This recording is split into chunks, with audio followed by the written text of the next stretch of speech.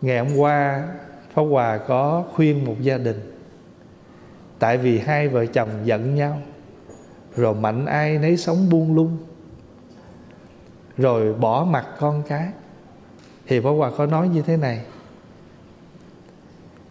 Khi mà mình còn trẻ, còn khỏe đó, Mình tức giận nhau rồi, Mình làm vô số điều kiện, Những việc để mà làm khổ Làm khổ nhau mà mình quên rằng mình đã để lại những hình ảnh rất xấu trong lòng con cái của mình. Mình có tưởng tượng được cái khi mình già, mình nằm một chỗ đó, con nó không thăm nó không ngó ngàng. Chừng đó, ai cứu mình? Tại vì những cái gì mình tạo tác lúc còn khỏe, còn trẻ, con người của mình á, khi mà khỏe, khi mà không có bệnh mà khi còn trẻ đó, mình bất chấp lắm muốn chửi ai là chửi, muốn nói gì là nói. Muốn nghĩa là không cần phải sợ gì thậm chí người ta nói đừng nói vậy, tội. Không có tội phước gì ở đây hết tôi chửi nó rồi tôi xuống địa ngục cũng được. Vân vân, tôi làm đi rồi tôi xuống. Nhưng địa ngục đâu thì mình chưa thấy lọt. Nhưng mà cái địa ngục mà cô đơn, cô độc, mình nằm một chỗ đó, ai lo cho mình? Chỉ ngày hôm trước, ngày hôm sau thôi. Có thể mình đã thành một người bệnh hoạn bị stroke, bị bị tai biến nằm một chỗ, chỉ ngày trước ngày sau thôi, chứ không lâu nữa. Cho nên rồi Pháp Hòa có nói, Phải nhìn lại những gì mình làm. Bây giờ mình không thấy được cái hạnh phúc hiện tại. Cho nên nghiệp quả sở khiên thành nan đào tị. Thanh hòa hưởng thuật.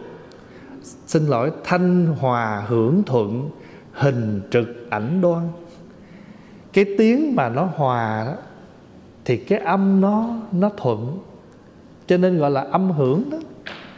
Mình cất một tiếng hát lên rồi mình ngân nó nó nó nó nó, nó ngân nga thì cái ngân nga nó gọi là hưởng gọi là âm hưởng. Cho nên người người hát hay là phải có âm hưởng tụng kinh cũng phải có âm hưởng. Thí dụ như thế nào gọi là âm hưởng? Nam mô A Di Đà Phật. Thì cái ngân của mình đó là cái hưởng đó. Cho nên mình tụng kinh cũng phải có âm hưởng. Để làm chi? Để người ta nghe nó nó dịu, nó lắng cái tâm. Thì tổ mới dạy mình đó, thanh hòa hưởng thuận. Nghĩa là cái âm thanh mà nó hòa, thì cái tiếng vang, cái tiếng ngân nó cũng hay hình trực ảnh đoan, cái tướng, cái hình của mình nó thẳng thì cái bóng mình nó ngay. Hễ cái tướng mình đứng méo thì cái bóng mình nó méo. Thanh hòa hưởng thực, hình, hưởng thuận, hình hình trực ảnh đoan. Nhân quả lịch nhiên, khởi vô ưu cụ. Nhân quả, nó sòng phẳng lắm nhân quả nó nó nghiêm minh lắm. Tại sao chúng ta không khởi cái tâm lo sợ? Khởi vô ưu cũ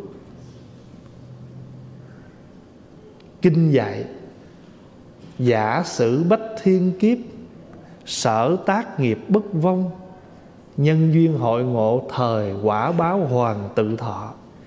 Kinh dạy rằng, ví như mình có tạo nghiệp trăm ngàn kiếp giả sử bách thiên kiếp. Có trăm ngàn kiếp đi nữa mà cái chỗ tạo nghiệp của mình nó không mất. Sở tác nghiệp bất vong. Cái chỗ mình tạo nghiệp nó không có mất đâu. Chỉ đợi nhân duyên thôi. Đợi nó chín mùi thôi. Nhân duyên hội ngộ thời quả báo hoàng tự thọ bây giờ mình không thấy. Đó, giống như mình trẻ vậy đó. Mình làm bao nhiêu cái điều không đúng. Mà mình quên rằng con người ai cũng phải có ngày già có ngày bệnh và có ngày chết. Bây giờ mình đang sống mà. Con người phải trải qua bốn tướng sanh già bệnh chết. Mà bây giờ mình đang sống này. Mà trong cái sống của mình là khổ tới khổ lui đây. Rồi ví dụ bây giờ mình lấy một cái một cái một cái ví dụ ra mình lấy một cái uh, cái ờ, lý do. Tại tôi nghèo quá. Đâu phải trên thế gian này nghèo cái đi lường gạt được. Ai cũng nghèo, thế gian thiếu gì nghèo, nhưng mà có những người nghèo mà người ta vẫn liêm chính. Người ta nghèo mà người ta sống vẫn ngay thẳng thì người ta đâu có nghèo cái tâm linh mà nếu mình nghèo mà làm như vậy rồi kiếp này mình nghèo, kiếp sau nghèo hơn nữa. Tại vì nghèo mà không lo tu mà còn lo lường gạt nữa thì cái khổ nó chồng chất. Cho nên kiếp trước không tu mới chịu nghèo nữa. Kiếp này khổ não nó đeo theo. Rồi mình nhìn người người sao dư giả còn dư giả. Có mặt, có ăn, còn dư giả, nghĩ lại phận mình, túi vắng teo tỉa đậu phộng thì có đậu phộng, trồng dưa leo sẽ hái dưa leo. Đó là nhân quả rõ ràng như vậy. Cho nên nhân quả lịch nhiên. Kinh vân kinh dạy rằng, sở tác nghiệp bất phong, nhân duyên hội ngộ, thời quả báo hoàng tự thọ. Cho nên người ngu làm điều ác, không ý thức việc làm do tự do tự nghiệp của mình. Vậy thì nghiệp là gì? Nghiệp là cái chỗ mình tạo lâu ngày. Ví dụ như á, mình ăn cắp. Ăn cắp một lần hai lần lâu ngày nó thành chuyên nghiệp. Ngồi gần người ta chỉ cần đụng vô cái vỏ người ta cái ta mất tiền.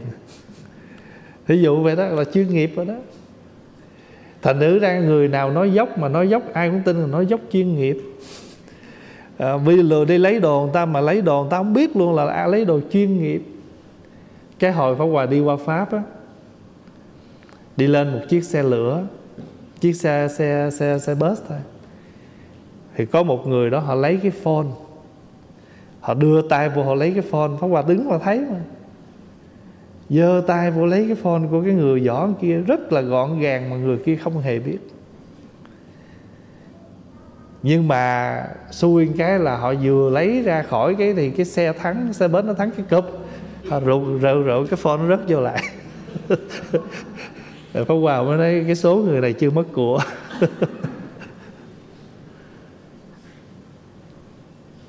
Có một lần cũng Pháp Hòa đi Âu Châu lúc đó là cái phone iPhone là Pháp Hòa nhớ là cái iPhone lúc đó là iPhone 6, iPhone 7 gì đó.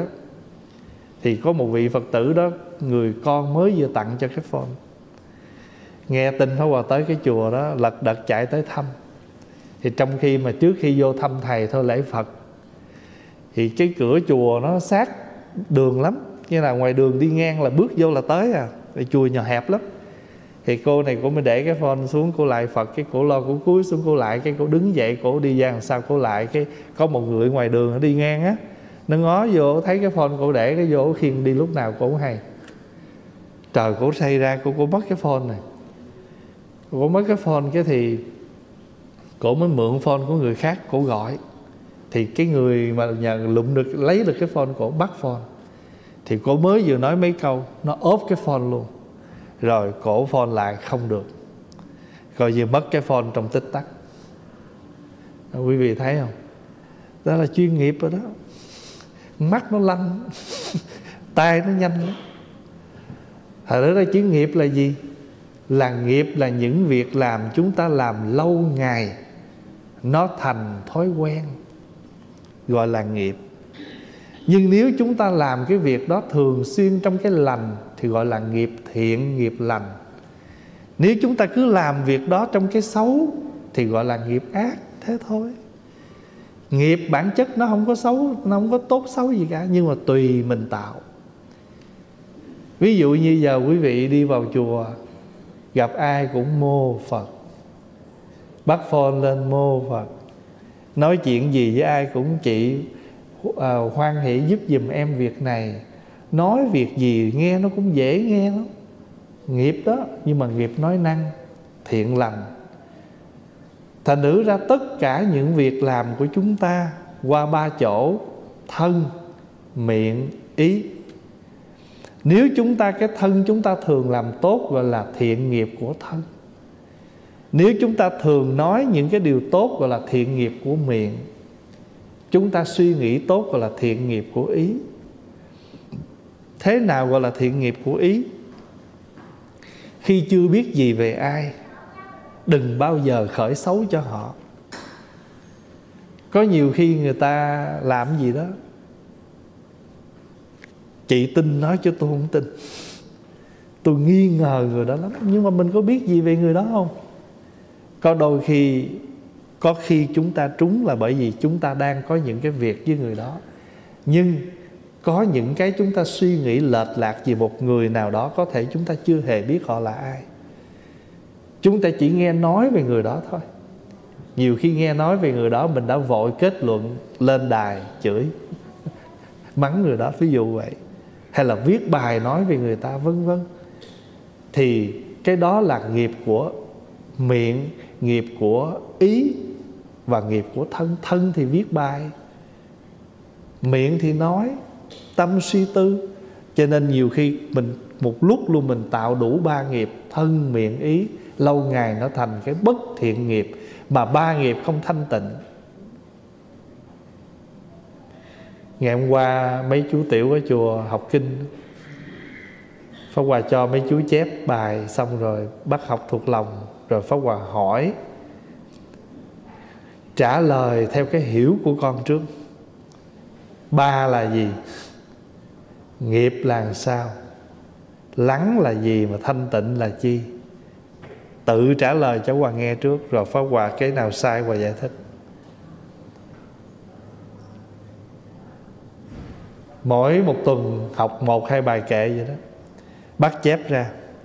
Chép xong rồi bắt học thuộc lòng. Học thuộc lòng xong rồi cất giấy hết. Phó Hòa đọc cái bài kệ đó, Chép bằng cái trí nhớ của mình Bằng tiếng Việt. Rồi Pháp Hòa nghe giải thích. Thành ra mình đang tạo một cái, Mình đang mình đang đầu tư vô cái đầu của một đứa nhỏ Cái thiện nghiệp. Có thể nó không hiểu hết cái ý đó, Nhưng mà nó nói lời lành vẫn hơn.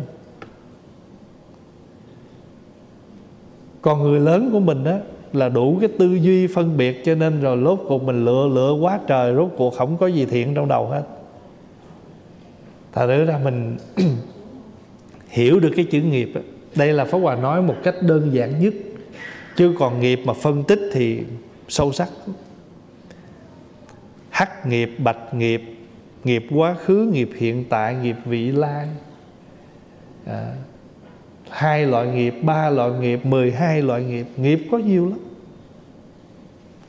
Thành thử ra người ta nói coi chừng tạo nghiệp. Thì cái chữ tạo nghiệp ví dụ như ngày nào mình cũng tụng kinh hết mà mình thành một thói quen rồi. 7 giờ rưỡi tối là tụng kinh đó mình cũng tạo nghiệp đó nhưng mà tạo nghiệp tốt. À, còn nếu tới giờ đó là bắt đầu phải có chuyện này chuyện kia làm. Cho nên người ngu làm điều ác không ý thức việc làm. Tự do tự nghiệp của người ngu bị nung nấu như lửa. Sẵn thì pháp hòa cũng thưa có nhiều khi như vậy cái người ta mới lên, người ta thông báo lên, cái họ dẹp cái trang Facebook đó đâu một vài tuần. Nhưng mà Facebook là mình chịu, không làm gì được. Cho nên Pháp Hòa cũng thưa với đại chúng người ta có thể làm tất cả những việc làm. Ý tốt cũng có, ý xấu cũng có. Nhưng mà mình phải nhìn lại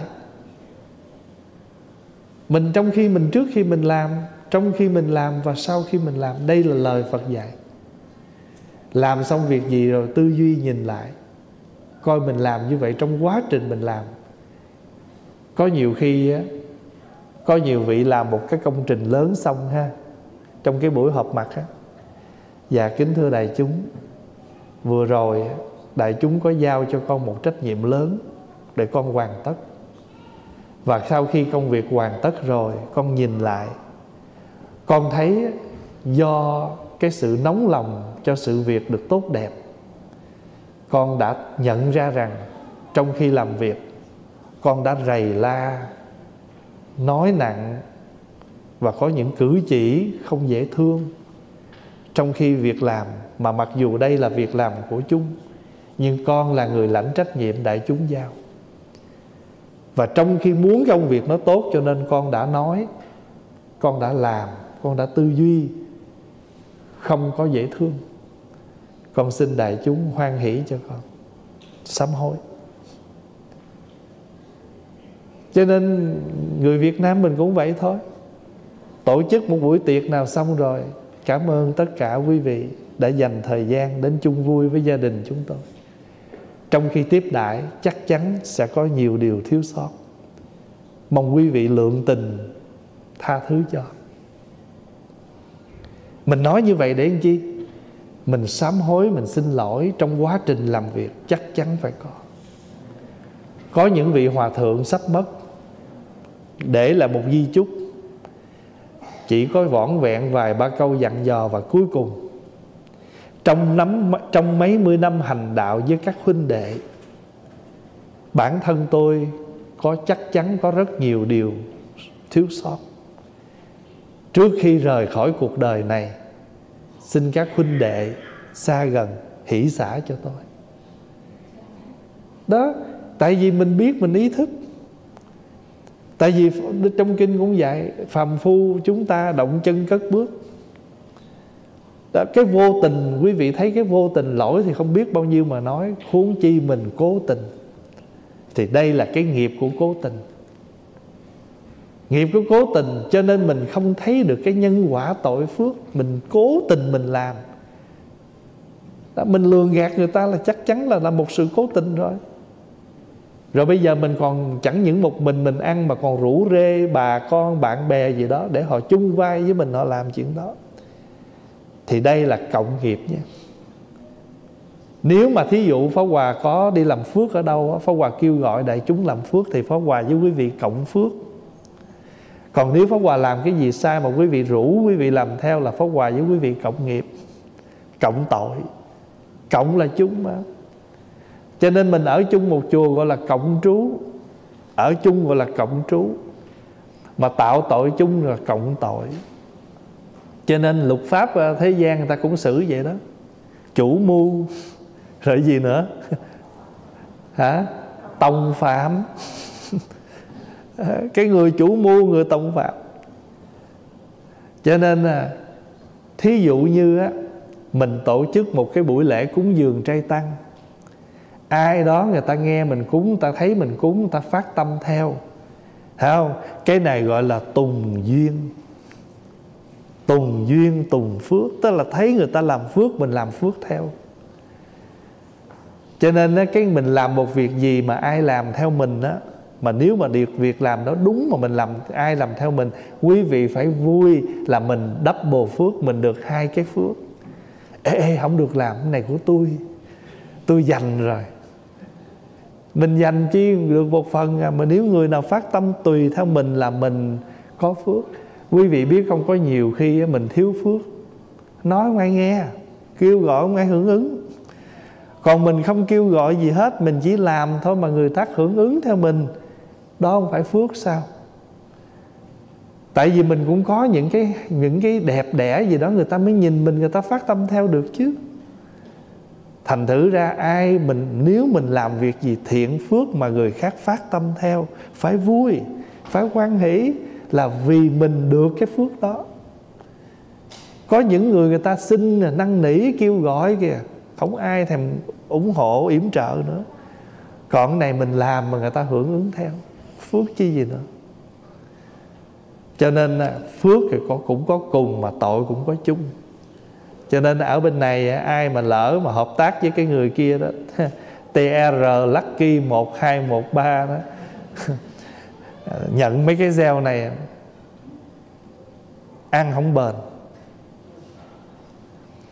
Xin lỗi đại chúng, Đây là một sự thật. Ví dụ bây giờ mình để danh sách cầu an này Với danh sách cầu siêu nè. Danh sách nào permanent nhất? Danh sách nào mãi mãi nhất? Cầu siêu. Cho nên là danh sách cầu an là tạm thôi, Tại vì có thể mình cầu lúc mình 15 tuổi Mà đến 7-80 tuổi cũng phải chuyển danh sách nè. Chơi cái nhà, Pháp Hòa hay nói hoài đó, Cái nhà hiện tại mình đang ở đây là ở tạm mấy mươi năm thôi. Còn cái nhà ba thước hay là cái học ở trong mấy cái chỗ để đó, nhà đó, nhà vĩnh viễn đó. Còn cái nhà mình ở đây, bạc triệu, cũng tạm thôi, không ở lâu đâu. Có nhiều người xây nhà xong chưa kịp ở nữa.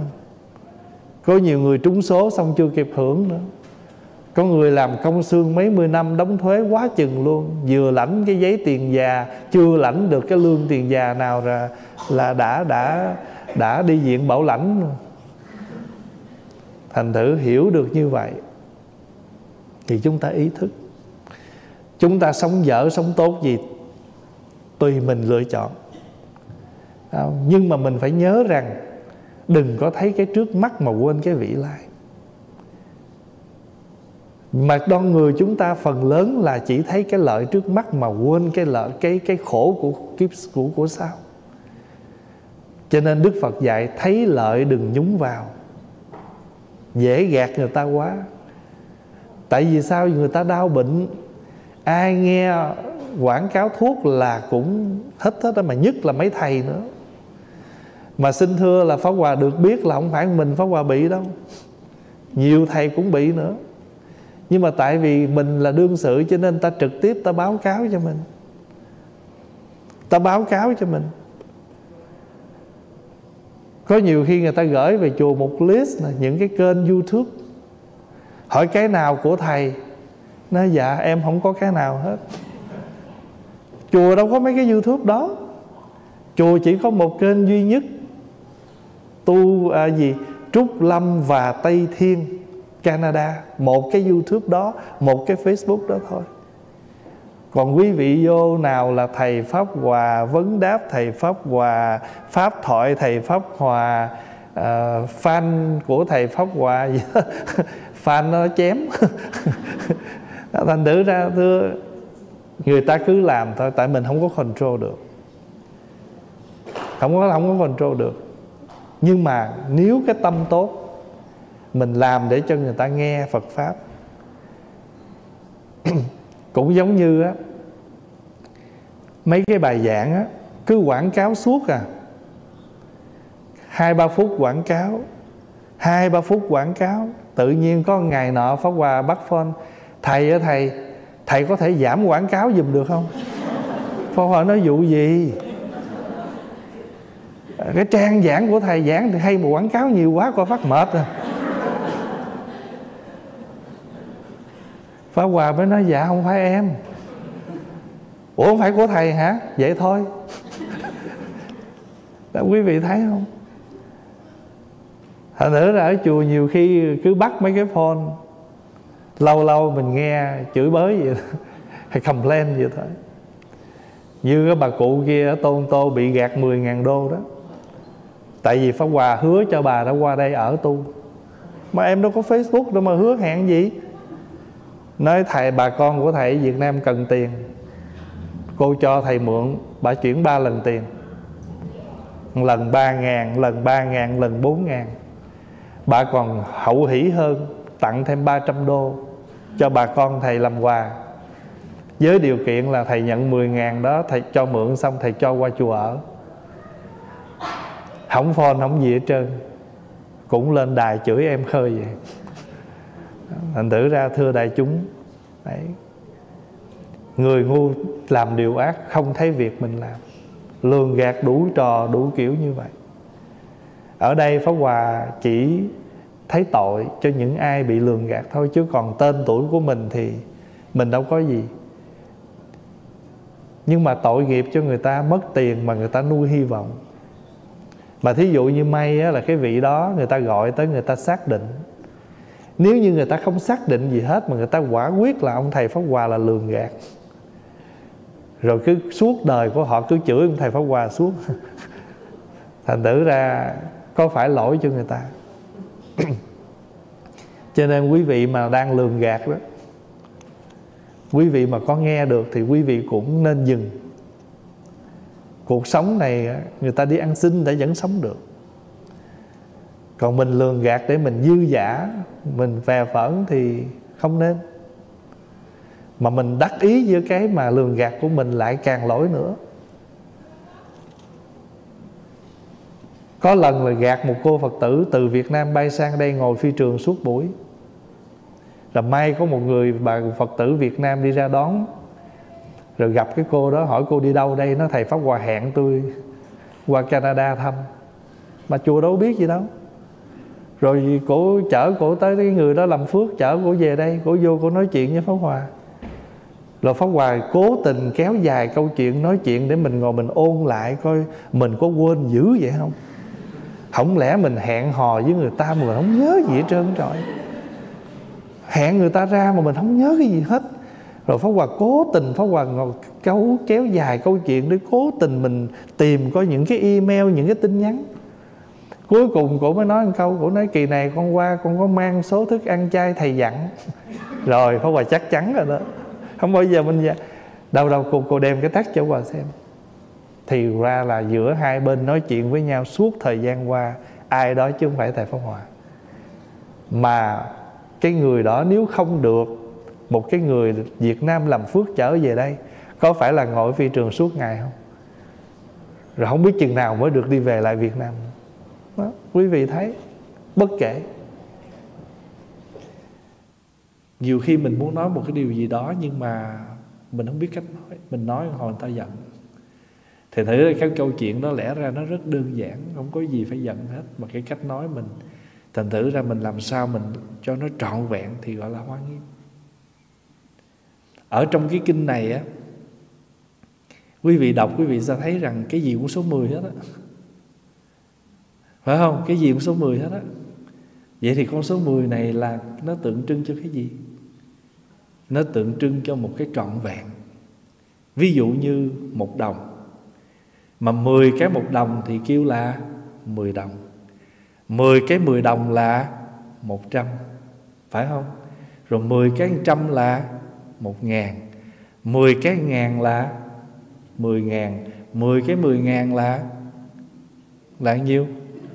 À, cứ như thế mà nhân lên. Thì và tiếng Việt Nam của mình Khi mình nói một cái việc gì Mình nói tôi chúc cho anh Tổ chức buổi lễ được thập phần viên mãn. Phải không? Rồi mình uống thuốc bổ cũng phải uống đủ 10 vị Thập toàn đại bổ. Vậy thì con số 10 trong Kinh Hoa Nghiêm muốn nói đó Là muốn nói lên một con số trọn vẹn. Thì tất cả chúng ta cũng như là mỗi một con số về đây. Và chúng ta đóng góp tất cả những gì mình có thể làm được Để cho cái sự việc đó được trọn vẹn thập phần như mình muốn. Cho nên Bồ Tát Phổ Hiền cũng phát thập nguyện Mười nguyện phổ hiền. Và chúng ta tu tập Muốn trọn vẹn đạo lý của thân Của miệng, của ý Cũng phải tu đủ mười nghiệp. Cho nên gọi là thập thiện. Mà ngược lại với thập thiện là thập ác. Cho nên Câu số 10 Nó mang một cái ý nghĩa là trọn vẹn. Và quý vị đọc trong kinh đó, Thì quý vị sẽ thấy rằng Kinh Hoa Nghiêm nói về cái gì? Nói về cái sự trùng trùng duyên khởi với nhau. Không có một cái thế giới này đi qua thế giới khác Mà muốn trọn vẹn thì nó phải có mặt cho nhau. Cái này Pháp Hòa có giới thiệu vào cái khóa tu năm ngoái. Quý vị có thể mở lại cái bài giảng đó, Nói về tứ pháp giới. Tứ pháp giới, Và trong đó có giải thích Thế nào gọi là sự pháp giới, Lý pháp giới, lý sự pháp giới, sự sự vô ngại. Mình tu như thế nào, mình học như thế nào để mình hiểu sự việc một cách trọn vẹn là sự vô ngại. Mình ứng xử mà không khổ thì gọi là sự vô ngại. Mình hiểu lý mà không chấp lý, gọi là lý vô ngại ví dụ như mình đem ly nước lên mình cúng phật, đó là sự. Nhưng mà trong sự này nó có lý. Cái lý của ly nước nghĩa là tượng trưng cho cái trong sạch, tinh khiết và cái định. Vậy thì trong ly nước nó vẫn có cái, trong cái hình tướng mình làm nó vẫn có ý nghĩa. Thì cái ly nước là sự sự này là hình tướng, là sự việc. Nhưng mà trong cái ly nước đó, nó có ý nghĩa của nó nó có cái đạo lý của nó, thì trong sự nó có lý cho mình hiểu được thì gọi là sự vô ngại. Mình hiểu lý, gọi là lý vô ngại. Mà khi mình lý sự, mình hiểu hết rồi, mình ứng dụng được trọn, gọi là lý sự vô ngại. Mà người mà hiểu được lý, hiểu được sự và ứng xử một cách rất trọn vẹn thì gọi là sự sự vô ngại. Đâu có việc gì trở ngại với mình đâu.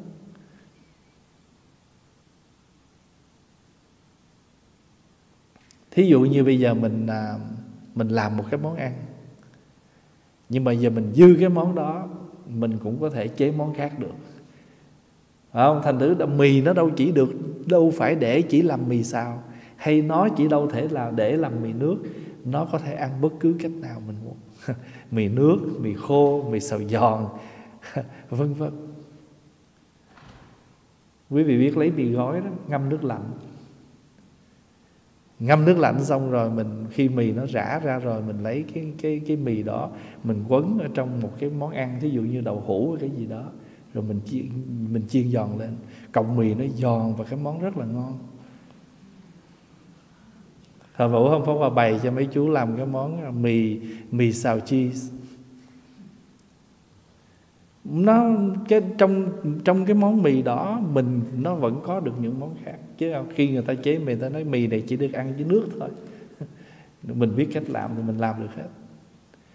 Cho là tứ pháp giới, sự vô ngại, lý vô ngại, lý sự vô ngại và sự sự vô ngại. Và mình có cặp mắt nhìn rồi mình thấy cái gì nó cũng có biệt tướng, tổng tướng, dị tướng, đồng tướng, thành tướng, hoại tướng cái đó là sáu tướng của một cái việc. Ví dụ như mình mình nhìn cái bàn này, thì mình mình nói là cái đây là cái bàn kinh để kinh thì mình, đây là cái biệt tướng của nó. Biệt tướng của nó là cái bàn để kinh nhưng mà đồng tướng của nó đó là nó giống như các loại bàn khác. Bàn này để kinh bàn khác để để trà nước, nhưng mà mình muốn nữa, mình lật ngược nó lên vậy nó có thể để cách khác nữa. Thì trong dị nó có cái đồng. Và trong cái biệt tướng là riêng nó này, trong biệt tướng nó có tổng tướng. Tổng tướng là nhìn toàn thể cái bàn này. Nhưng biệt tướng là tháo nó ra là miếng gỗ, cây đinh, sơn. Cho nên người mà có cái cái cái tầm nhìn rộng như vậy là nhìn của cái ánh mắt của hoa nghiêm cho nên từ đó họ đi tới đâu họ cũng không có bị trở ngại hết. Sống rất là thoải mái và bình an. Mình có thể mình hội nhập nhưng mà một cách rất là nhẹ nhàng.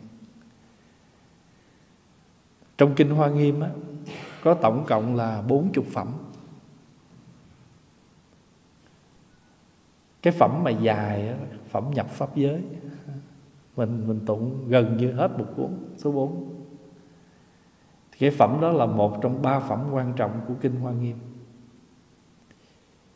Nhập pháp giới là gì? Nếu mình nói bình thường là mình nhập vào trong cái cái chân như, cái cảnh giới của chân thật. Nói cách khác là mình nhập vào được cái chân tâm, tuệ giác của mình, gọi là nhập pháp giới. Và trong này có đưa ra một hình ảnh của một người thanh niên còn trẻ đi cầu đạo. Đó là thiện tài. Chú tiểu này tên là thiện tài. Nhưng mà tại chú nhỏ quá cho nên có thêm hai chữ đồng tử. Đồng tử là một người thanh niên trẻ, thiện tài đồng tử. Chữ thiện là khéo. Chữ tài là giỏi. Mình giỏi rồi, nhưng mình phải khéo nữa, mình mới hay mình mình giỏi nhưng mình không khéo á, mình làm người ta giận. Ví dụ như mình giỏi, người ta đang làm việc đó, ở đâu mình xen vô. Mình nói là mình biết làm, mà việc đó của người ta. Mình không khéo cái làm người ta buồn mình. Ta nói, ở đâu mình vô mình phỏng tay trên. Và mình khoe khoang cái tài của mình mà mình chưa chắc mình biết cái tài mình tới đâu. Thành thử trong cái tài nó phải có cái thiện. Chữ thiện là khéo chữ thiện là khéo. Cho nên tài, có tài phải khéo. Giỏi là phải khéo. Mình giỏi mà không khéo ăn nói, mình rất giỏi làm, nhưng bù lại mình không khéo ăn nói, thì mình cũng có thể làm cho người ta giận mình. Mặc dù cái việc làm của mình người ta rất thích, người ta rất quý, nhưng cái cách nói của mình khó nghe quá. Thôi thà người ta khỏi khỏi cần tới mình giúp. Mình giúp mà mình tới mình nói, người ta nghe nó nhức đầu quá nó mệt óc quá. Thành tử ta nói, thôi thôi để tôi tự làm đi. Còn không thì thôi tôi có nhiêu tôi ăn nhiêu đi. Chứ anh tới anh làm phụ tôi có một chút mà anh nói tôi nghe muốn chết luôn. Đó, thành tử cái tài mà không có khéo. Thiện tài. Tại sao ở đây nói tới một cái người trẻ? Tại vì người trẻ là tượng trưng cho một một cái ý chí. Một cái ý chí quý vị thấy làm gì mà có người trẻ, tự nhiên mình thấy cái năng lượng của mình nó nó khác liền à. bản thân mình cũng vậy, lúc mình trẻ, tinh thần của mình rất là hăng say. Và mình làm cái gì mình cũng không thấy mệt, cho nên mình càng làm mình càng hăng. Giống như hồi nhỏ Pháp Hòa ở chùa, Pháp Hòa thích mấy cái lễ lắm. Tại sao biết không? Mình lăn xả mình làm. Mà giờ từ từ bắt đầu sợ lễ rồi đó. và hồi đó mình làm mình rất là thích là tại vì mình mình được làm và mình rất thích làm. Cho nên một năm bao nhiêu cái lễ, một mình mình tháo quát, mình sắp xếp được hết. Sắp xếp được hết. Bây giờ là tự nhiên mình thấy mỗi lần lễ tới là mình bắt đầu mình mệt hơn là tại vì mình phải suy nghĩ, phải lo đủ thứ hết. Số lượng nó đông hơn ngày xưa. Và mình, người thì không có tăng, chỉ có tăng việc thôi còn người có tăng là tăng tuổi. Số lượng thì không đông không có tăng. Nhưng mà người có nhiêu đó càng ngày càng lớn tuổi và làm không nổi nữa. Thì cái người mà mình thấy cái, cái việc gì mà có một người trẻ vào thì cái sự việc nó khác. Cho nên là mình rất là mong các bạn trẻ là phát tâm đi xuất gia. Pháp Hòa thấy mấy đứa nhỏ nào, Pháp Hòa hay rà rà, Con có bạn chưa? Dạ chưa. À thôi khoan đi. Từ từ mà nó thật khỏi đi.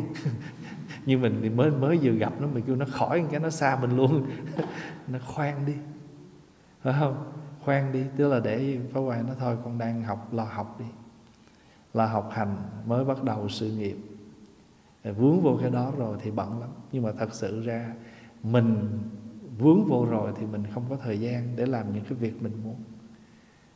Cho người nào mà có con mà con mình nó phát tâm đi tu nên yểm trợ cho nó. Nên nên nên phát tâm yểm trợ và cúng dường con mình cho cho Phật pháp, cho đại chúng, làm lợi hơn nhiều. Ở nhà nó cưới vợ bất quá sanh cho mình được vài đứa cháu. nựng nựng, chơi chơi cho vui. Lúc còn nhỏ kêu cục vàng tới lớn thành bốn cục nợ. Mình gặp nó hồi nhỏ mình kêu cục vàng của tôi, cục cưng của tôi lớn lên thành cục nợ. Cho nên nếu như mà mình cho ở đây nói lên một cái người người tuổi trẻ có cái ý chí muốn cầu tiến, cho nên đưa cái hình ảnh của thiện tài đồng tử. Vậy thiện tài đồng tử làm gì? Đi đâu? Đi đâu? Đi cầu đạo. Cầu đạo là cạo đầu đó. Người muốn cầu đạo phải cạo đầu. Mà cạo đầu á, là cạo tóc. Mà tóc là tượng trưng cho gì? Phiền não. Người nào muốn cầu đạo mà tâm còn phiền não cầu không được phiền não nó đầy dẫy lấy sao đó. bây giờ ví dụ ngồi đây mà quý vị giận pháp hòa quý vị ngồi cho có lệ thôi chứ đâu có nghe. Tôi có ưa gì đâu nghe. Thế nhiều khi cái người mình không thích đó mình bắt buộc phải ngồi thôi nhưng mà giữ nghĩa người đã nói nó không có vô được. Phải không? Thành thử ra, tại sao trong phật giáo người đi tu phải phải phủi tóc? Tại vì tóc là tượng trưng cho phiền não rối rắm. Mà nó nằm ở đâu? Nó nằm đây nè. Có phải phiền nằm đây không? Thế nào gọi là phiền não? Thế nào gọi là phiền não? Phiền là buồn não là rầu. Buồn rầu kêu phiền não. Mình đem cái đó tới mình tặng cho người đó mà người đó có vẻ nhận một cách hời hợt quá bắt đầu hồi, hồi nãy vui lắm nhưng mà chỉ cần cái người đó hơi hơn một cái thôi là chưa có giận đâu, hờn thôi. Mà nếu một lát thấy cái đó nó vô xóa nữa là giận luôn. Thật là phiền não, phiền là buồn, não là rầu. Mà phiền não nằm đây. Cho nên tóc của mình nằm đây nè. Và con người mà khi mà phiền não lên rồi, giận tức lên rồi, máu nó dồn lên đây. Nhìn gân là biết liền. Gân nó nổi lên hết rồi bao nhiêu những cái bực tức nó trào lên mắt có người nào mà giận mà thấy mắt nó dễ thương không? Lúc đó mình nói, trời ơi, mắt em là bể oan cừu. Rồi bao nhiêu cái giận nó lên đây hết. Lên trên cái đầu của mình. Nó lên trên con mắt của mình. Nó lên trên cái miệng của mình. Miệng nói, mắt trợn, gân nó nổi lên hết.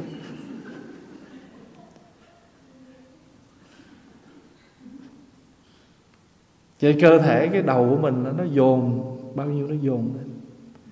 Cái người mà lo lắng nhiều Nó cũng dồn lên đây Thì nó thể hiện trên gương mặt. Cái người mà vui á, Nó cũng thể hiện lên đây. Cho nên tại sao trong nhà thiền Lại đề xướng cái câu là Bản lai diện mục Là mặt mũi xưa nay của mình. Mặt mũi xưa, sáng giờ của mình Nó đẹp dữ lắm. Tự nhiên chiều thấy thôi, Trời ơi, nó khác lại liền cho nên người tu á, các các các vị người ta nói chuyện rất là đơn giản. Mặt mũi xưa nay của mình không phải cái chuyện gì đâu. Nghĩa là cái cái cái cái nét mặt bình thản của mình xưa giờ đâu mất rồi. Còn nếu mà nói sâu sắc hơn là cái chân tâm cái tâm cái cái trí tuệ cái chân tâm mà bình an của mình xưa giờ tu là để làm gì? Để thấy được mặt mũi của mình. Đó là mặt tích cực còn nếu mình nói mà để mà mà gọi là cảm hóa nó là để mình thấy được cái diện mạo hung tợn của mình, dữ dằn của mình, phiền não của mình. Cho người nào buồn nhìn cũng biết, người nào giận nhìn cũng biết, người nào tức nhìn cũng biết. Ganh tị, thường thường một ông đạo diễn mà ổng mà ổng là một cái đạo diễn mà có cặp mắt.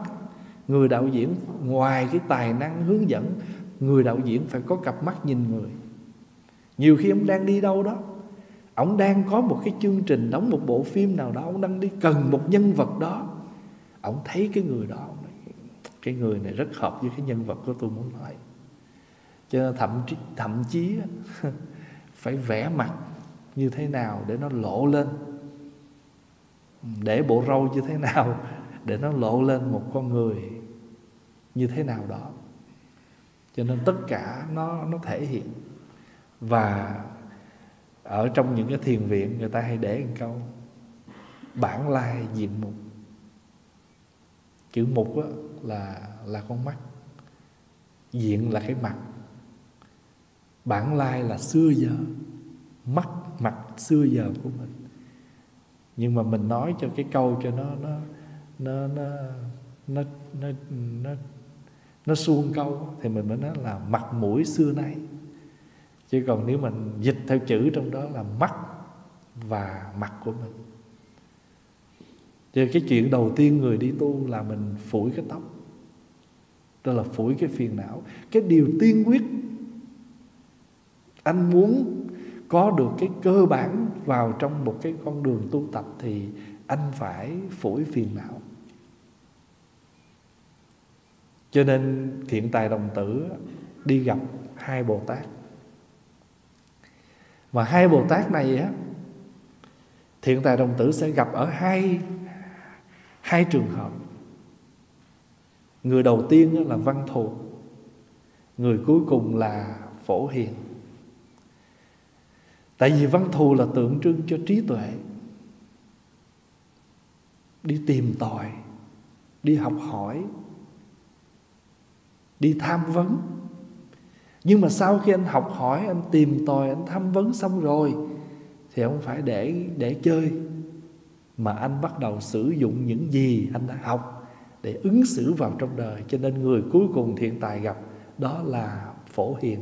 Tại vì phổ hiền là tượng trưng cho, cho một vị bồ tát đi vào đời lăn xả vào đời hội nhập vào đời. Cho nên đức văn thù cầm cái gương Đức Phổ Hiền cầm hoa sen. Có khi thì cầm hoa sen Có khi cầm ngọc như ý Cái cây như ý Có khi cầm quyển sổ. Tượng trưng cho những cái pháp bảo Những cái phương tiện Để đi vào trong Trong sự làm việc của mình. Và ngài ngài thiện tài đồng tử khi mà gặp văn thù sư lợi á, bồ tát á, thì quý vị biết Ngài Văn Thù Sư Lợi dạy cái gì? Dạy cho phát tâm Bồ Đề Tại sao thiện tài đồng tử gặp người đầu tiên Dạy cho phát tâm Bồ Đề Tại vì tâm Bồ Đề là tâm gì? tâm bồ đề là tâm giác ngộ tâm tỉnh thức à, người người muốn làm bất cứ việc gì mà đầu tiên mà cái tâm bồ đề không có phát thì việc làm của mình nó sẽ không có được trọn vẹn như ý mình. Ví dụ như bây giờ quý vị phát tâm đi qua đây tu, khóa tu mùa đông này là phải phát tâm bồ đề mới đi được. Mà quý vị thấy đi đi tây phương thỉnh kinh có khó không? Khó quá trời luôn. Có một em phật tử ngày hôm qua từ ở Cali bay qua dự bôn khóa tu mất cái vali. Tại vì kỳ này là tất cả các chuyến bay bị cancel, bị delay rồi. Cái là tất cả vali hành lý gì là lạc, thất lạc hết. Tối chiều hôm qua, em phải nhờ mấy thầy chở ra phi trường. Lục lọi trong cái đống hành lý đó mới tìm được cái vali của mình sắp về để hồi khuya này sắp về lại Cali rồi. Nghĩa là suốt mấy ngày ở đây không có, không không có không có quần áo gì là đem theo nhiêu là coi như cuối cùng phải vô Walmart mua mới hết. Và lấy cái vali chiều hôm qua, hồi sáng 4 giờ đi rồi. Thật nếu mà mình, nếu mà mình không có cái tâm bồ đề nửa đường là mình đã đã nản rồi đó. Thôi giờ cho tôi quay về đi. Dịp khác tôi tu chứ gì đâu mà cực quá. Nhưng mà mình không có thối chí, không có nản lòng. Và thậm chí có vị nói với Pháp Hòa, qua được tới đây rồi, vui rồi, còn mấy chuyện kia chuyện phụ. Tại vì mục đích của mình là muốn được đến tham dự khóa tu mình đã sắp xếp rồi. Nếu mà họ không bay được mà họ đi lê mình ở một cái thành phố nào đó còn khổ hơn nữa. À, tới đây đi. Không có quần có áo có sao nhưng mà được đến cái chỗ mình muốn và được tham dự khóa tu. Cho nên bồ tát văn thù sư lợi mới dạy cho ngài thiện tài việc đầu tiên là phải phát tâm bồ đề. Phát tâm bồ đề còn được gọi là sơ tâm. Sơ tâm là gì? Là cái tâm ban đầu. Cái tâm ban đầu mà mình phát lên khi mình đến với đạo khi mình đến với con đường tu tập mình đâu có cái tâm gì là khác đâu. Ngoài cái tâm gọi là muốn tu tập không hề chứa danh nào. Đấy, tôi vô đây để tôi kiếm danh tôi vô đây để kiếm lợi. Có ai mà đến đây nó để tôi đi vô đây tôi kiếm chỗ ngủ không? Cái nó là tôi tới đây tôi, tôi, tôi kiếm đồ ăn không? Ai cũng nói một câu thôi tới đây tu mình nói là mình đến đây tu. Nhưng mà khi sự việc nó đến thì mình có vì cái tu mà mình đến không? Hay là vì cái khác mà mình đến? Hay là vì cái khác mà mình đi? Tôi vì phật, tôi tu. Nhưng mà cuối cùng tại huynh đó tôi bỏ chùa. Tại sư đệ kia tôi nghĩ tu. Thành thử ra mình nói, nhưng mình không sống được với cái nói của mình cho nên đức phật hỏi ngài a nan thầy a nan lý do nào thầy đi tu? Ngài a nan nói dạ tại con thấy phật đẹp quá, con đi tu. Vậy thì cái nhân của ngài a nan đến là tại vì thấy tướng hảo của phật. Thì cái nhân của ngài a nan là đến vì tướng hảo của phật, cho nên cái quả của ngài a nan phải nhận trong con đường tu là gì? Cũng bị sắc. Tại vì ngài vì cái tướng hảo là vì sắc phải không? vì sắc cho nên cái nhân như vậy thì cái quả cũng vậy cho nên ngài cũng vì sắc mà ngài ngài thối chí. Ngài bị ngài bị coi như là uh, bị hàng phục bởi cái cái ma lực. Ở đây ở đây là muốn nói lên cái đạo lý. Nói lên cái đạo lý. Tại vì trong lịch sử là ngài a nan bị một cái cô ngoại đạo cô ma đã đem lòng yêu thương ngài bởi vì ngài đang đẹp quá. Khi các vị mà giảng kinh lăng nghiêm giảng đến cái đoạn này thì các vị cũng nhắc nhở, mình khởi cái tâm gì mình đi tu. Thì cái, nó tương đồng với cái cái quả mình nhận. Thí dụ như quý vị không vì cái danh, cho nên đến đây không có danh gì hết, mình cũng bình thường mà nếu tạm thời mình phải có một cái danh gì đó để mình làm thì biết cái này chỉ là giả danh. Mà đã giả danh là hư danh. Hư danh là gì? Rỗng lắm. Cái tiếng kêu nó rỗng nó, cái tên nó rỗng được thôi. Có nhiều khi mình kêu mình là cái gì chứ mình có làm được gì đâu. Thật thử ra mình biết rằng khi mình có danh Mình phải tâm niệm giả danh và hư danh. Thì mình mới nuôi được cái con đường của mình. Cho nên Ngài Văn Thù Sư Lợi được dạy phải phát tâm Bồ Đề. Và thưa đại chúng có một cái hay Nếu mà quý vị hôm nay tụng kinh Vì mình lần đầu tiên mình tụng mà Nếu mình có thời gian về nhà Lên online trở lại mở kinh lăng nghiêm trở lại à, kinh hoa nghiêm trở lại đọc cái phẩm nhập pháp giới thôi đọc trở lại lần nữa đọc trở lại để rồi mình sẽ biết rằng thiện tài đồng tử trên con đường cầu đạo đã gặp ai.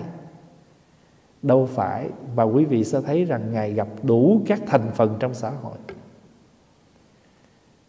Bồ tát có cư sĩ nam có cư sĩ nữ có phải không?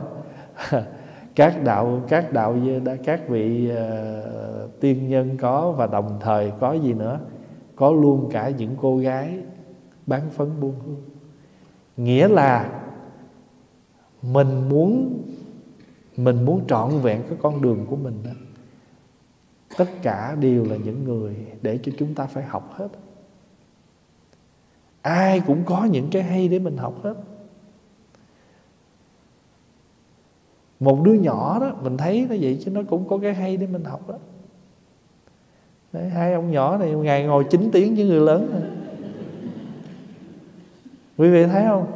Mình mới đầu mình nhìn nó trời ơi lóc chóc nó mà trăng sáng nó lên nó lên nó lên chừng vài tiếng nó xuống ngồi suốt 3 tiếng đồng hồ một ngày một buổi. Mà một ngày ngồi đủ ba thời. Mà tụng lớn nữa chứ.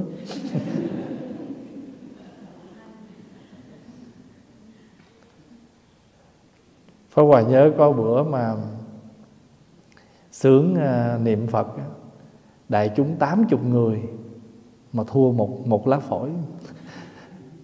Ảnh niệm thích ca mâu ni phật niệm lớn hơn hết mấy vị dưới. Ở dưới rù rì rù rì thôi. Cho nên đầu tiên nhất là thiện tài gặp văn thù dạy phát tâm bồ đề. Và quý vị nhớ rằng mỗi khi thiện tài gặp các vị á, cũng hỏi có mấy việc thôi.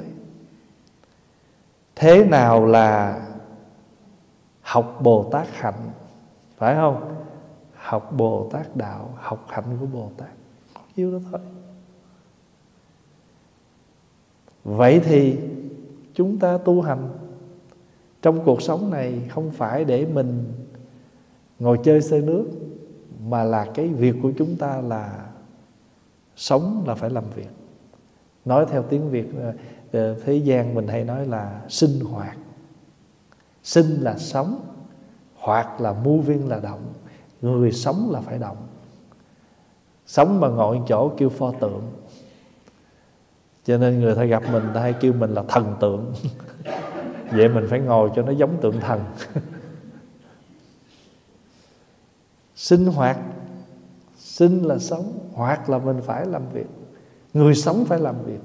Sống mà không làm việc thì không được cho nên mình tu cũng không có nghĩa là mình ngồi chơi. Nếu nói cho đúng ra, tu là một, mình đi, mình sống một cuộc sống rất tích cực. Quý vị, bây giờ quý vị vô khóa tu nè. Quý vị thấy công việc tự quý vị thấy chương trình phải không? Từ sáng tới tới tối, mình đâu bao giờ mình, đâu bao giờ mình không làm việc đâu. Không tụng kinh thì ngồi thiền, không ngồi thiền thì làm à, ăn cơm không ăn cơm thì rửa chén vân vân đều có những sinh hoạt vậy thì cái chúng ta gọi là đi vào một khóa tu. Cái khóa đó là ý nói là một cái chương trình. Cũng giống như mình mỗi ngày mình cũng phải có một khóa của mình chứ. Mình cũng có những cái thời khóa của mình ví dụ sáng mấy giờ ra xe đi làm nè mấy giờ ra xe lấy xe về nè, về nhà phải nấu cơm nè, nấu cơm rồi rửa dọn nè, không phải thời khóa là gì. Thì trong chùa cũng vậy thôi. Đời sống hàng ngày của mình cũng có thời khóa. Nhưng bây giờ, cái thời khóa mình không phải là làm trong vô tâm, quên lãng, mà mình làm trong chánh niệm. Bây giờ mình nấu cơm, cho người nhà mình ăn mà mình nấu một cách rất hạnh phúc. Hồi đó mình nấu bực bội lắm, đi làm về mà còn phải nấu ăn nữa, phiền não quá bây giờ mình sẽ thấy rằng không, mình được nấu. Và mình đem tất cả cái tình thương của mình vào trong cái công việc đó, thì tự nhiên nó sẽ khác liền. Cho nên quý vị thấy không? Văn thù sư lợi dạy cho thiện tài rồi, giới thiệu, ông hãy đi về phương nam gặp cái người kế tiếp. Cho nên ở trong này á, có hai việc phải làm. Một là phải phát tâm bồ đề hai là phải có thiện tri thức. Phát tâm bồ đề và cầu thiện tri thức. Cho nên là suốt 53 chặng đường, đều gặp thiện tri thức hết. Đều gặp thiện tri thức hết. Và thiện tri thức là gì? Là những người bạn lành. Thí dụ như một người bạn đó gọi tới cho mình, chia sẻ những cái điều hay để mà mình hướng tâm tu tập, đó là thiện tri thức. Nhưng nếu người đó phone tới mình mà nói những điều làm cho mình thối tâm, nản chí, tại vì họ phiền não việc đó mà họ đem gieo rắc cho mình, thì để ý cái chuyện đó. Mình đâu có dính dáng tới câu chuyện này. Nhưng mà đa phần là ma, nó thích có ma chung. Cho nên người ta sẽ gieo rắc cho mình những cái hình ảnh, những cái câu chuyện nó tiêu cực rồi cái mình nghe xong cái mình đi theo họ luôn. Vậy mình tu phật mà không theo phật mà rút cuộc theo ma. Theo phiền não. Theo cái ác tri thức chứ không phải là theo thiện tri thức. Chứ quý vị để ý trong kinh Hoa Nghiêm cái phẩm nhập pháp giới, đây là một phẩm quan trọng trong bốn chục phẩm kinh Hoa Nghiêm. Có cái phẩm nữa là phẩm ly thế gian. Nhớ không? Phẩm ly thế gian là phẩm thứ 38 và chữ ly thế gian nghĩa là lìa những cái trần cẩu của thế gian. Thì trong đó đưa ra rất nhiều những cái hay. Số 10 hết. Nguyên phẩm đó, tất cả những cái pháp đều là 10 10 số 10 số hết. Mà Pháp Hòa nhớ là Pháp Hòa trích nhiều thứ trong Kinh Hoa Nghiêm để, mặc dù Pháp Hòa không giảng nguyên bộ Kinh Hoa Nghiêm nhưng mà xưa nay là Pháp Hòa hay trích những cái đoạn trong Kinh Hoa Nghiêm để chia sẻ với đại chúng trong những buổi pháp thoại. Lâu lâu là lấy khúc ở động kinh phẩm ly thế gian ra. Lâu lâu và trích đoạn trong bồ tát ờ, và trong cái phẩm của bồ tát phổ hiền ra. Trong đó có nhiều cái hay. Cho nên phải phát phải phát tâm bồ đề cầu thiện tri thức. Mình có tâm bồ đề rồi, nhưng mà không có thiện tri thức mình dễ bị lung lay lắm. Và ví dụ như quý vị thích tụng kinh ha, mà ở chung phòng bốn người mà ba người không thích tụng, rồi xong luôn. Mình muốn đi đi chi, ở lại với tụi tôi đi cho vui. Một là thắng, ba không nổi. Nhưng mà nếu như mình, không không, mấy chị không khỏe, mấy anh không khỏe, mấy anh chị ở nhà, còn em đã tới đây rồi, em muốn đi tụng kinh có bị dụ chưa? Có ai bị réo không? Đó. Cho nên mình nhớ là mình đi tu mà có người có người tu chung với mình đó, cái người khuyến tấn mình đó, mình hạnh phúc lắm. Nguyện làm bạn đồng hành trên con đường giác ngộ. Mình tu là mình phải có bạn đồng hành để đi tu chung với mình. Và nhớ là trong cái đoạn đường mình tu tập đó, nó sẽ có rất nhiều những cái khó khăn, những chướng ngại. Nhưng mà nếu mình nhắm hướng, vậy thì trong thiện tài đồng tử nhắm hướng nào? Ai nhớ? Mà nếu mà người nào nhớ sẽ có thưởng. Hướng gì? Ai nhớ hướng nào? Rồi, giỏi. Vỗ tay cái coi trong kinh đó, thiện tài đồng tử hướng về phương Nam. Phương Nam là phương của sức mạnh, Tượng trưng cho sức mạnh và trí tuệ.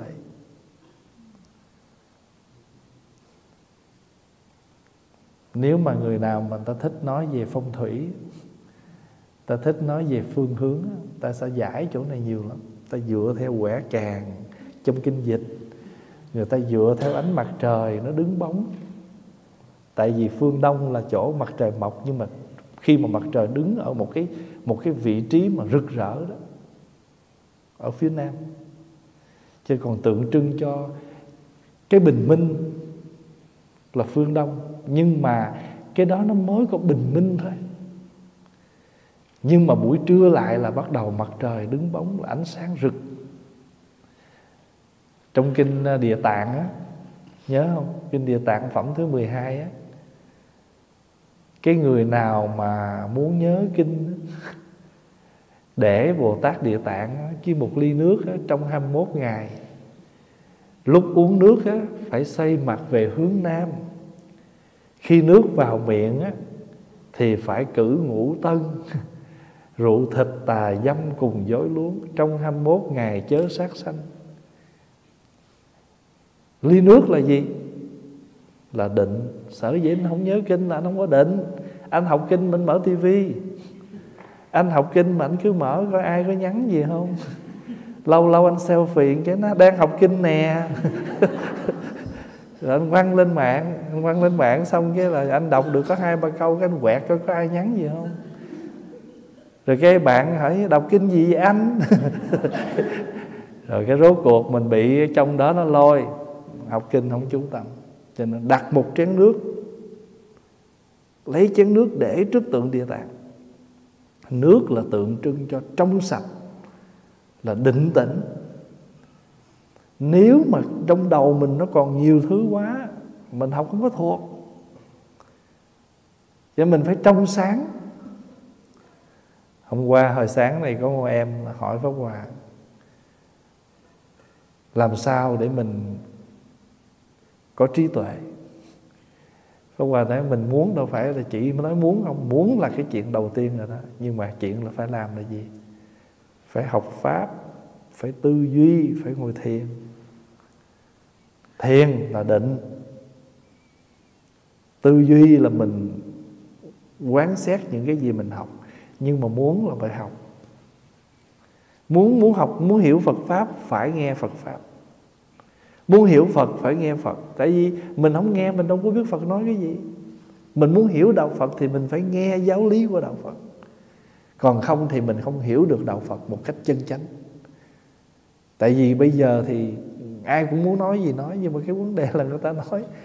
Rồi người ta có thể cung ứng cho mình rất nhiều thứ, Nhưng mình phải tư duy, Phải chọn lọc Cái nào nó hợp cho mình. Chứ đâu phải cái gì mình cũng cũng dung nạp chưa được cho nên, địa tạng là tượng trưng cho gì? Tượng trưng cho tâm. Địa tạng là tượng trưng cho tâm. Nếu mà tâm mình không được sự định tĩnh, không được trong sáng, thì mình không nhớ kinh. Cho nên trong kinh địa tạng nói vậy thôi à. à đặt tượng để, có cái tượng địa tạng bồ tát rồi để chén nước trước tượng địa tạng, rồi ngồi tụng kinh gì? Niệm danh hiệu của ngài 21 ngày. Niệm danh hiệu là gì? Mình trở về với cái tâm của mình.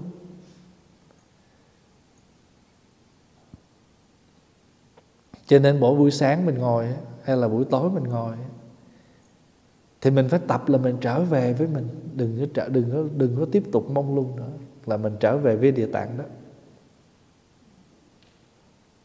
Trong kinh địa tạng Cứ nhớ là trong kinh địa tạng là tượng trưng cho cái tâm của mình mà khi mình trở về được với tâm của mình á, thì mình sẽ xuống được địa ngục. Nhớ không? Ờ, trong kinh nói là mình trở về niệm thanh tịnh liên hoa mục như lai, rồi mình sẽ đi vào địa ngục, mình được gặp ai gặp ai trong đó. Mục là mắt, liên hoa là sen. Niệm thanh tịnh liên hoa mục như lai. Người muốn thấy rõ giữa tội và phước Phải có con mắt trong sạch như hoa sen. Không có ô nhiễm. Nhìn người như thật Không có chen lẫn những cái phiền não của mình vô. Thì mình mới thấy rõ được tội phước của mỗi người.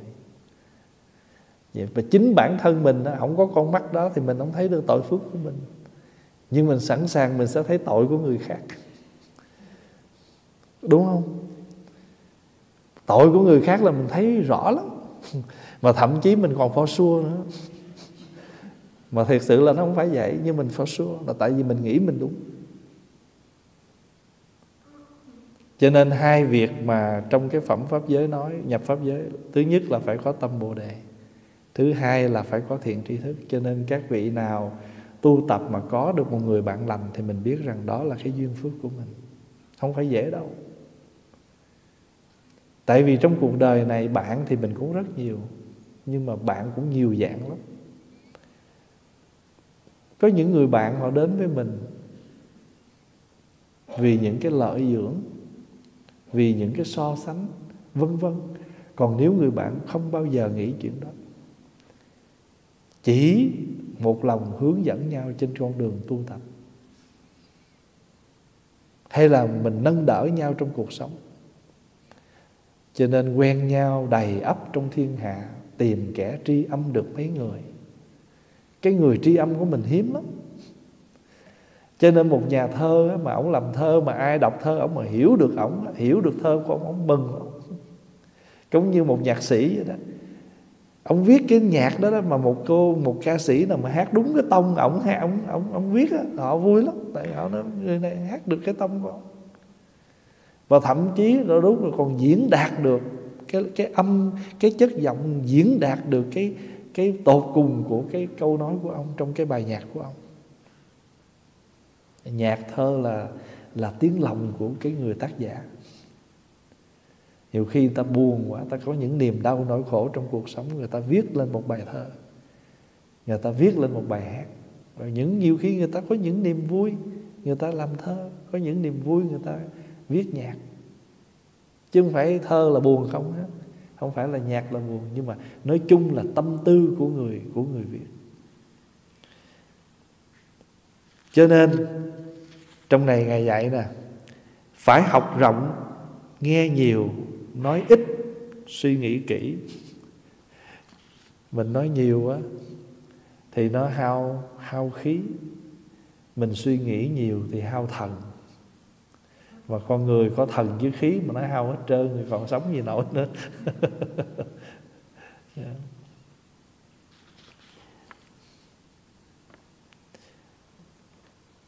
sau đó văn thù sư lợi giới thiệu thôi ông đi qua gặp hòa thượng công đức vân đi để dạy cho pháp môn niệm phật văn thù dạy cho phát tâm bồ đề dạy cho phát cái tâm dũng mãnh cái tâm thương yêu cái tâm sáng suốt.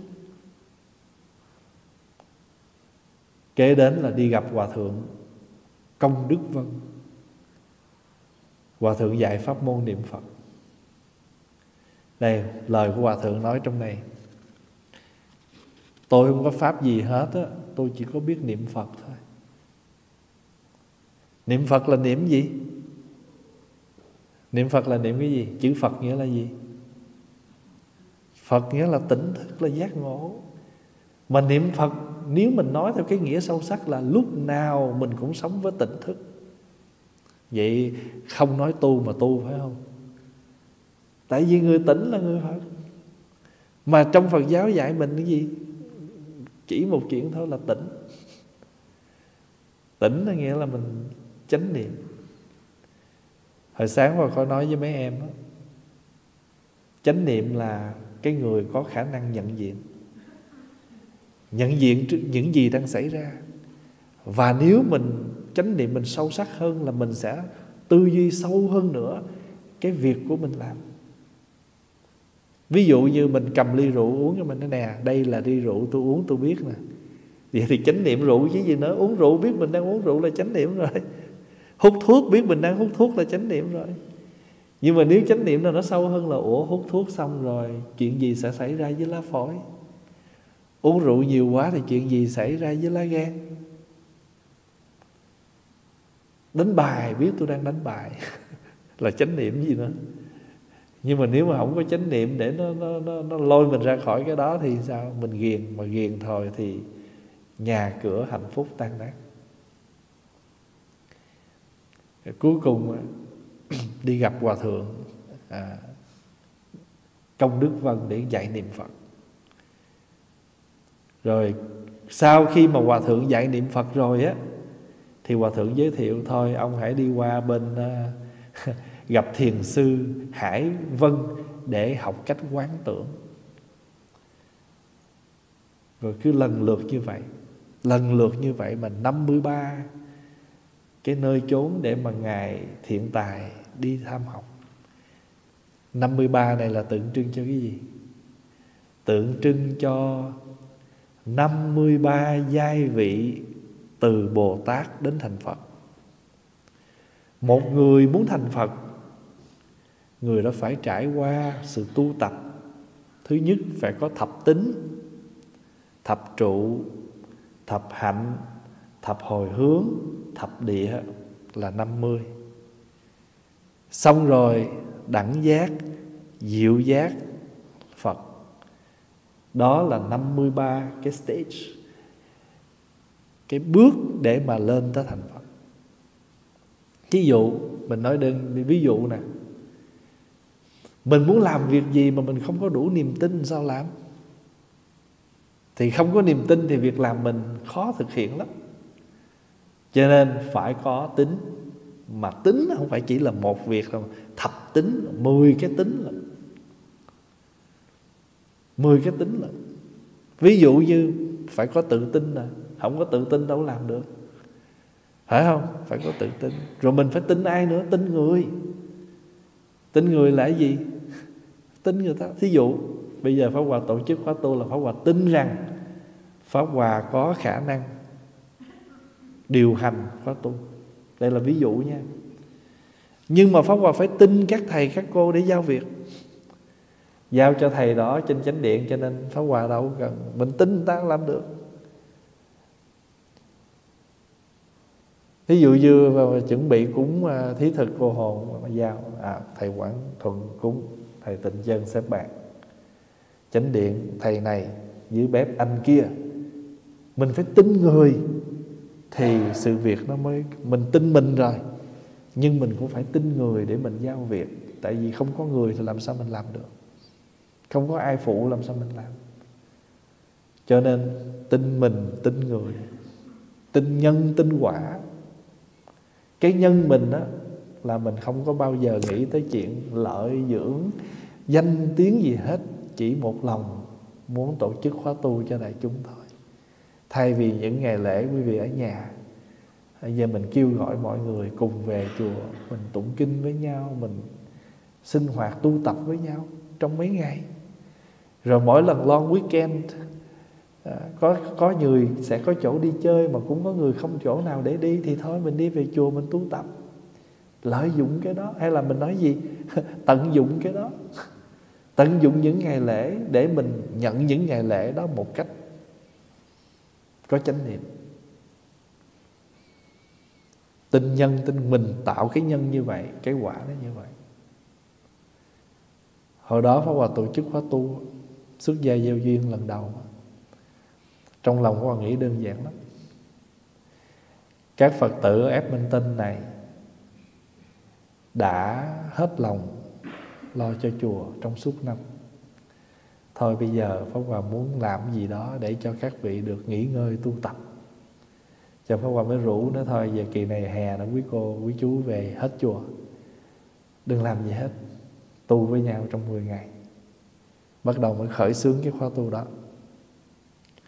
Không bao giờ dám nghĩ mình sẽ có một khóa tu quốc tế. Bây giờ dám nghĩ tới chuyện đó. Chỉ mong là được lo cho local thôi mà rốt cuộc giờ lâu cổ không có ai hết trơn. Trời, hay quá.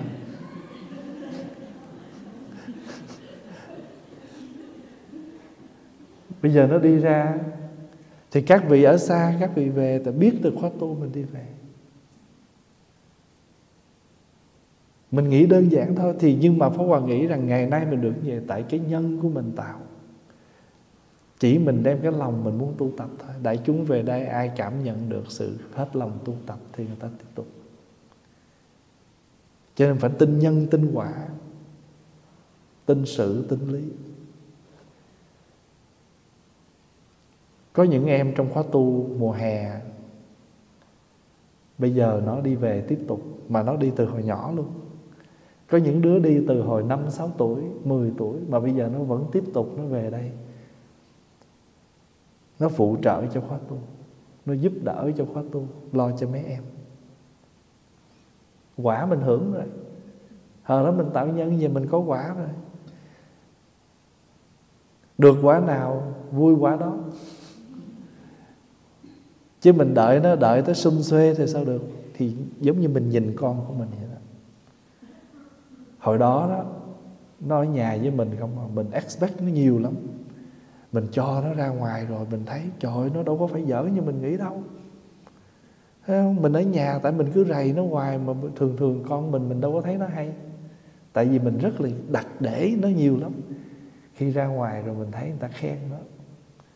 Mà mình để mình thấy nó có làm việc Thì mình nói ồ Hôm nay mình nuôi dưỡng nó Giờ nó có quả rồi đó. Rồi giờ nó đi khóa tu về á hồi đó giờ nó không có phụ rửa chén giờ nó vô nó phụ mình rửa chén là biết rồi, chờ nó cho nó tới khóa tu rồi nó cũng học được việc, làm việc tập thể. Thí dụ vậy. Có những em á, lần đầu tiên đến khóa tu. Và nó rất là khó chịu, tại vì nó không có thích. Nhưng mà ba mẹ muốn quá đi, cho nên dụ khị nó bằng cách nào đó không biết. Hình như trả tiền hay sao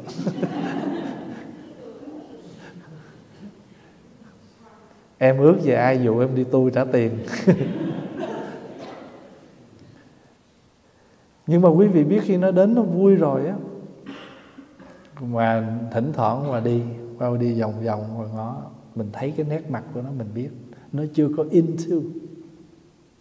Nó chưa có hội nhập được. Thì phải hòa lại để ý đến nó nhiều hơn. Khi nào mình thấy nó ngồi đông, mình cái qua tới ngồi gần nó nói chuyện với nó ngày hôm qua có một em á, nó không có, nó không có, nó không có vô gì hết trơn á. Cái trong lúc nó ngồi nó ăn á hôm qua tới, để tay lên vai nó, khen nó và và khuyến khích. Thì một lát sau, Phó Hòa đang ngồi, cái nó chạy tới, nó ngồi bên chân. Phó hỏi, Con có tới nữa không? Hỏi nó tiếng Việt nói I don't understand. Rồi cái mình phải say qua mình nói tiếng Anh với nó. Probably I come back. Pháo Hòa mới nói Cái thấy trong tay nó đeo chiếc nhẫn. Thôi chắc thầy phải lấy chiếc nhẫn này Để năm tới con trở qua Con con con lấy chiếc nhẫn. Mình nói chơi nó vậy thôi. Bữa nay lột nhẫn nó đưa thiệt nó đi về tới Minh Tinh rồi. Tại nó ở đâu? Ở đây. Nó ở xa tới. Ba mẹ chở tới. Rồi ba mẹ bữa nay rước xong rồi ở Minh Tinh rồi. Đáng lý là đi về rồi. Và vậy mà nó bắt ba mẹ nó phải chở ngược lên đây. Kiếm pháo quà cho bằng được. Để đưa chiếc nhẫn cho thầy giữ.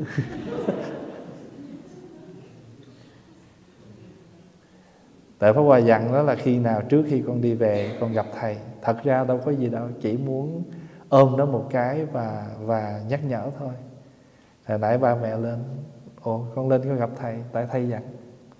Thì mình biết rằng cái lời nói của mình á, có thể mình nghĩ là mình nói để mà để mà vui một đứa nhỏ. Nhưng mà không ngờ trong đứa nhỏ đó, nó vẫn có cái gì? Nó vẫn có cái honest. Mặc dù bình thường nó trời ơi lắm, nhiều vị than nó dữ lắm nhưng mà quý vị thấy không? Mình khai thác. Vì thì trong một đứa nhỏ đó nó vẫn có một cái len lỏi một chút nào đó cái dễ thương của nó. Giống như trong kinh ngày ngày ngày xá lợi phất nói á, người nào lời nói không dễ thương hành động không dễ thương nhưng mà trong tâm của họ còn một chút dễ thương. Tại vì cái nó có một chút sao mình thấy? Tại mình nhìn mình expect là mình nhìn cái to không à nhưng mà chịu khó mình nhìn chút mình thấy thì mình mình thấy cái đứa nhỏ đó, nó có một chút dễ thương của nó. Thì mình mới biết rằng á, Pháp Hòa mới nói với mấy thầy trong trong ban tổ chức đó.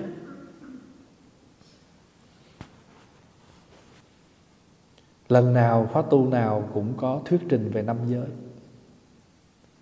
Để cho mấy em nó nghe về năm giới, nó tu tập. Tại vì thật ra năm giới không phải là giáo điều mà nó là năm phương pháp sống chánh niệm. Nhất là cái giới thứ năm. Giới mà nuôi dưỡng thân tâm bằng cách ăn uống và tiêu thụ. Nếu mà nó ăn không lành mạnh thì nó bệnh. Nó tiếp xúc không lành mạnh thì tinh thần.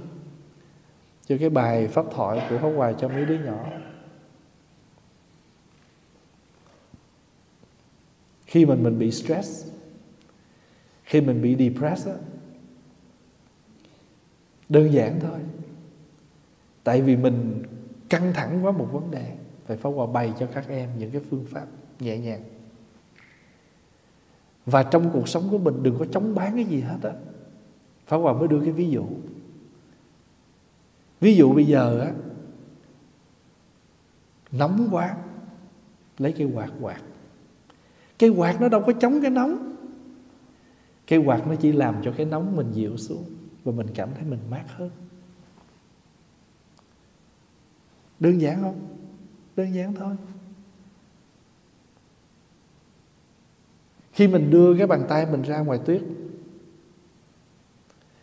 Thì khi tuyết nó rơi trên tay mình đó, Nó có đậu lại không? Nó tan phải không? Lý do nào nó tan? Tại vì cái sức ấm của mình thì Pháp Hòa nói với mấy em, Người ta có thể đến với mình như những hạt tuyết. Nhưng mà trái tim của mình nó nóng, cái cách của mình sống nó nóng, nó sầm tan được cái tuyết đó. Cho nên mỗi khi đi đường gặp, đang đi thiền hành đang ngoài đường mà gặp tuyết rơi quá, hay giơ tay. Giơ tay để cho tuyết nó tan lên trên cái bàn tay mình và mình phát hiện ra một điều rằng nắm muối dù có mặn vào sông muối sẽ tan. Hận thù sẽ tan biến với tâm người thênh thang. Cái bài kệ đó Pháp Hoa làm, trong một lần nào không nhớ, nhưng mà Pháp Hoa làm bài thơ đó. Nắm muối dù có mặn, vào sông núi sẽ tan. Hận thù sẽ tan biến với tâm người thênh thang. Tuyết nó lạnh nhưng mà bàn tay mình ấm. Cái bàn tay người kia lạnh. Mình lấy cái bàn tay, mình nắm cái bàn tay người đó. Mình đâu có chống bán gì đâu. Nhưng mà cái bàn tay ấm của mình sẽ làm cho cái bàn tay lạnh của người kia bắt đầu nó ấm lại. Cuộc sống không có chống bán. Mình tu hành là không có chống bán ai hết. Mà mình học những phương pháp để mình cảm hóa. Thí dụ như mình nổi sân. Mình khởi lòng thương cái người đó để mình làm cho cái cơn giận của mình nó lắng xuống, chứ không phải lấy cái, lấy lòng từ bi để chống cái sân, có chống được. Mà khi mình khởi lên cái chữ chống bán hay là đối trị thì ít nhiều gì cái chữ đó nó cũng làm cho mình more more cái cái cái cái sự tranh đấu bây giờ pháp hòa phát hiện ra là mình khỏi chân dung nữa. Thí dụ mình đói bụng mình đói bụng mình lấy một chén cơm mình ăn đâu phải chống cái đói. Để làm cho cái đói mình nó êm dịu lại. Mình khát nước mình khô cổ mình uống ly nước để làm cho cái cổ, cổ họng mình nó êm dịu lại. Nó đừng có rác khô nữa. Mình bị khang tiếng mình uống nước chanh uống nước giá để làm cho cái tiếng của mình nó xốp, nó thanh trở lại. Và khi mà mình sống, Pháp Hòa phát hiện ra cái đó, Pháp Hòa vui quá. Cho nên Pháp Hòa mới nói với mấy em. Và Pháp Hòa mới kể cái câu chuyện là khi mình lạnh mình trùm cái mền đó, cái mền nó đâu có ấm gì đâu. Nhưng mà tại sao mình trùm mền hồi là mình lại ấm? Vậy thì cái ấm từ đâu ra? Từ cái ấm từ trong cơ thể của mình nó đi ra. Mình tu tập cũng như vậy. Mình tu tập như thế nào mà từ bi trí tuệ của mình mỗi ngày nó đi ra thì nó làm tan hết mấy cái đó. Không có chống gì hết, mà tự động mình xoa dịu cái đó.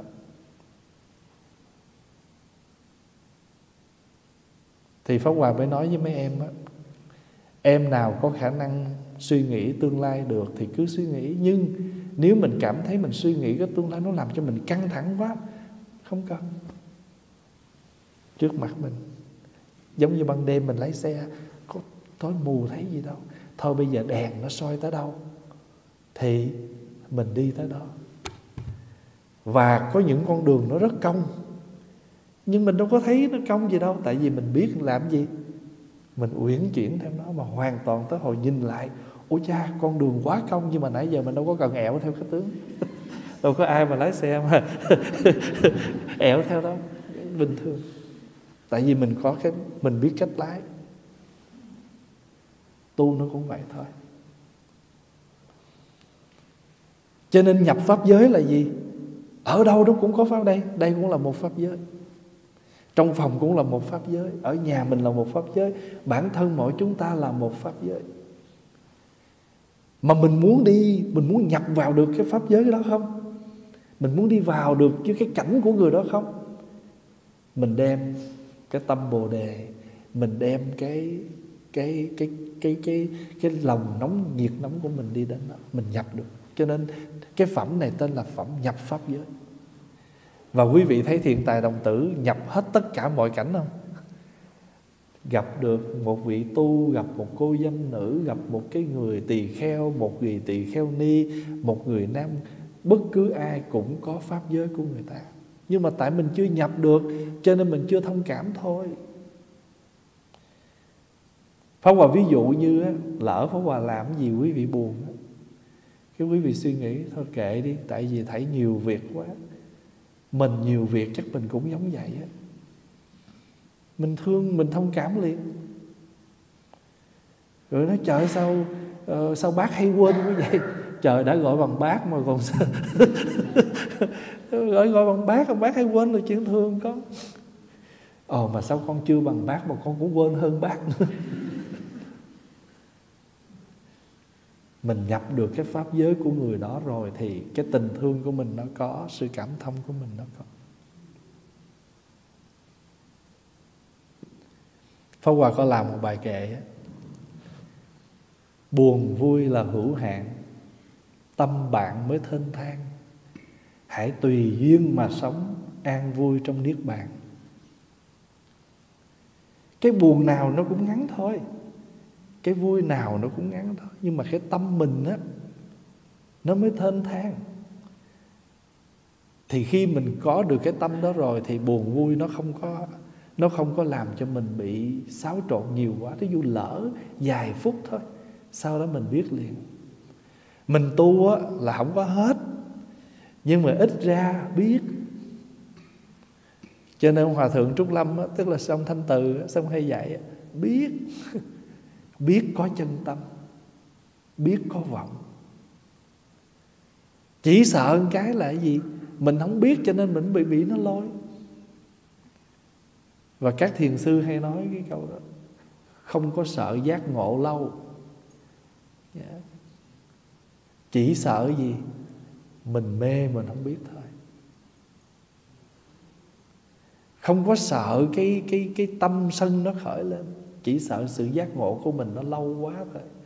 Thí dụ ha, sân mình vừa khởi lên. Mình không biết, cho nên để cái sân mình nó lan ra hết nguyên ngày luôn trời ơi tới hồi mình giật mình lại hết ba chục người chết dưới tay mình rồi. Không sợ sân tâm sân khởi chỉ sợ sự giác ngộ lâu. Mình nếu mình tỉnh thức lâu quá, thì cái để nó sẽ hoành hành mình. Cũng giống như nếu mình vừa có bệnh mà uống thuốc ngay thì bệnh nó không có.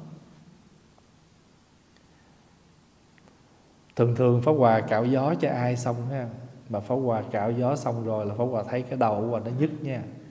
Người mình bắt đầu nó nó khó chịu lâu và biết rồi đó. Gió của người đó nhập qua mình rồi đó. Là Pháp Hòa lập tức đi uống hai viên Tylenol liền. Nhất là những lúc Pháp Hòa phải đi giảng, Pháp Hòa cần khỏe đó. Là Pháp Hòa chữa liền. Hoặc là mình đi ra gió, Mình làm gì đó, mình biết. Có nhiều lúc mình ờ, cũng ờ, xí soạn ham đẹp đó. giữa mùa đông lạnh vậy lột cái nón xuống chụp tấm hình xong chụp cái lại vô bệnh. Cho nên đó, cái người cái con người là phải có tham có sân có si đó rất là bình thường.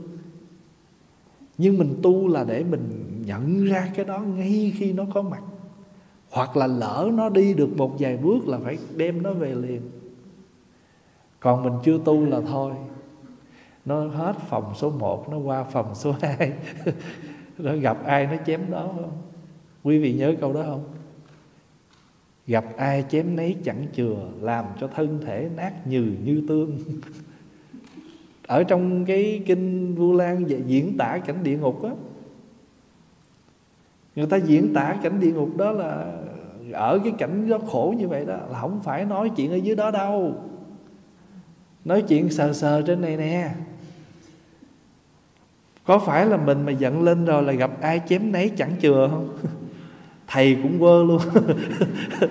Bà tôi cũng quơ, thầy tôi cũng quơ. Gặp ai chém nấy chẳng chừa, làm cho thân thể nát như như tương. Những hình phạt vô phương kể xiết. Mỗi ngục đều có cách trị riêng. Tôi có con mắt, tôi lườm nó. Tôi có cái miệng tôi nghiến răng nó. Tôi có cái chân tôi dậm nó. Tôi có cái tay tôi đập nó làm cho thân thể nát nhừ như tương. Những hình phạt vô vương kể hết. Mỗi ngục đều có cách trị riêng. Mình giận ai rồi á là mình có cách trị họ hết. Là bây giờ cái truyền thông nó nó nó mạnh đó, còn dữ dội nữa. Không? Như là xe sắt phân thay Chim ưng mổ bụng trâu cài lưỡi le. Diễn tả cánh địa ngục. Nhưng mà thật sự nó không phải dưới đó đó Trên này nè. Quý vị có thấy rằng mỗi lần mình tức giận ai là mình muốn hình phạt người đó không? Thì địa ngục là vậy thôi. Mình không thích ai là mình sẽ Người đó sẽ trở thành tội nhân của mình. Người đó trở thành à, Mình sẽ trở thành một người xử tử cái tội nhân đó. Mình hành phạt nhau. Đó ví dụ như mình không bây giờ lỡ mà sống chung nhà mà giận nhau là không nói không nói với nhau nữa có ngày không nói với nhau, cũng không muốn nhìn thấy mặt. Gây nên nội kết dài lâu, phải không? Rồi mình quăng cho người đó xuống địa ngục hàng băng. Còn la hét lên là địa ngục của hỏa lò. Cho nên cái chuyện mà, cái chuyện nó rất là thật chứ không có, không phải là mình tưởng tượng gì đâu khi mình giận nhau, mình tức nhau là mình chỉ muốn hành phạt nhau thôi. Mình muốn nói những cái câu gì cho nó chết. Mình muốn làm những cái gì cho nó khổ. Cho nên niệm phật và quán tưởng, gặp. Nếu có thời gian, mở kinh hoa nghiêm ha, phẩm nhập pháp giới, đọc lại. Bây giờ bắt đầu đọc nghiền ngẫm nha. Hồi sáng là đọc chạy đua. mình đọc chạy đua. Nhưng mà cuộc sống nó phải vậy thôi. Có những lúc mình phải đua và có những lúc mình chậm lại. Mình đua xong rồi mình thấy mệt quá. Cho nên trịnh công sơn có câu gì? Mệt quá đôi chân này, tìm đến chiếc ghế nghỉ ngơi. Đôi chân của mình đi nhiều lắm. Mình rong rủi nhiều lắm. Mình thấy ai sao mình phải vậy? Ai nhà cao mình phải cửa rộng. mình mệt, mình đi cuối cùng mệt quá đôi chân này, và cuối cùng đơn giản lắm, tìm đến chiếc ghế nghỉ ngơi. Và cuối cùng chân lý mình cũng một câu thôi, em hồn nhiên thì em sẽ bình yên. Có không? Mình đâu có hồn nhiên đâu, tuyết đẹp quá trời mà không lại chụp hình gì chứ. Có đôi khi những cuộc sống của mình cứ đơn giản, mình cứ hồn nhiên thì mình sẽ bình yên còn nếu không thì mình biển sống bờ, biển đánh bờ, xôn xao bờ đánh biển. Sóng nó đập vô trong bờ bờ nó tạt sóng trở lại. Biển đánh bờ, xôn xao bờ đánh biển. Rồi cuối cùng chân lý mình đừng đánh nhau hỏi biển sẽ tàn phá.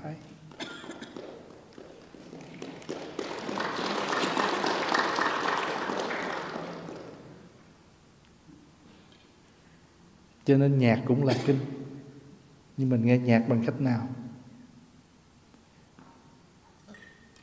Tại vì người ta muốn đưa cái đạo lý, nó ở trong những cái cái lời đó. Mà ở trong kinh phẩm nhập pháp giới có một cái chỗ đó.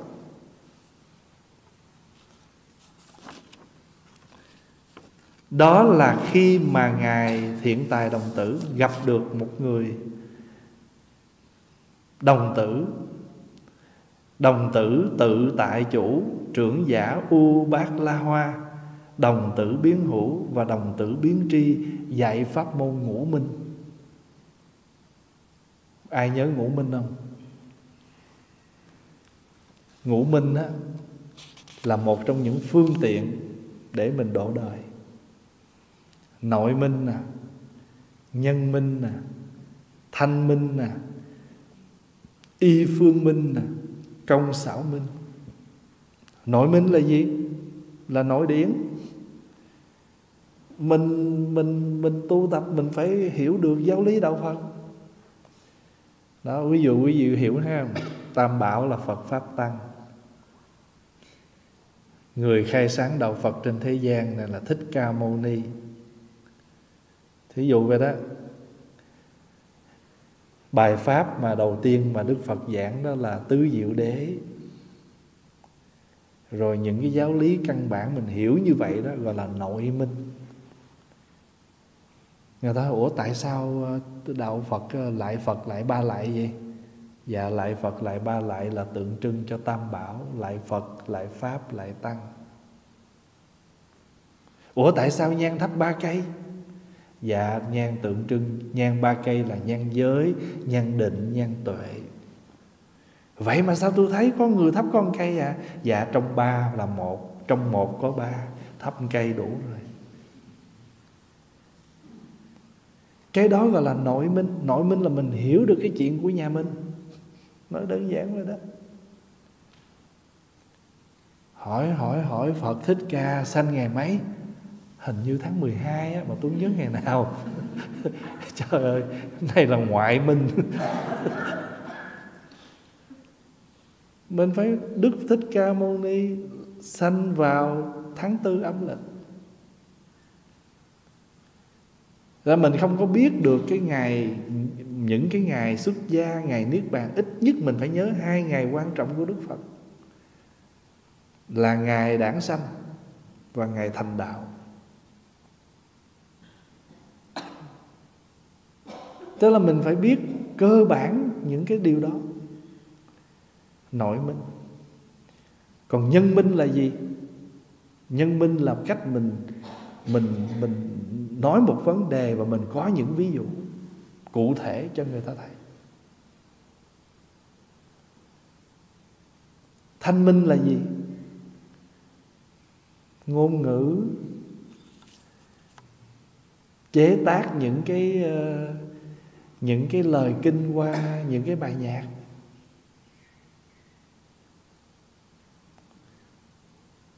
Bây giờ rất nhiều cái bài nhạc, phải không? Nhạc phật giáo nhiều lắm.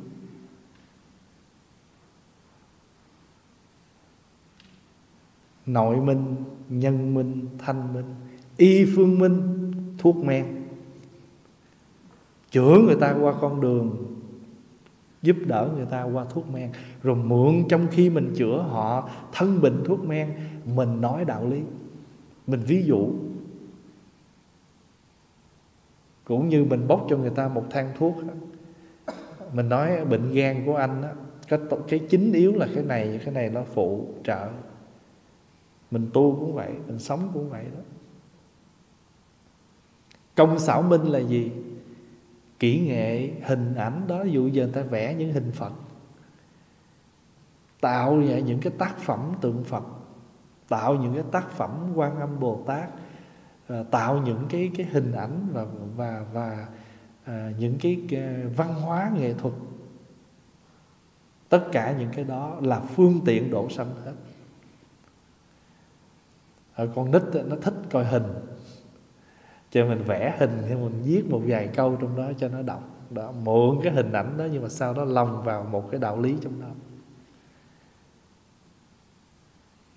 Y phương minh, công xảo minh, nhân minh, thanh minh, nội minh. Cái đó là ngũ minh. Chữ minh là biết rõ, sáng suốt. Mỗi cái mình biết.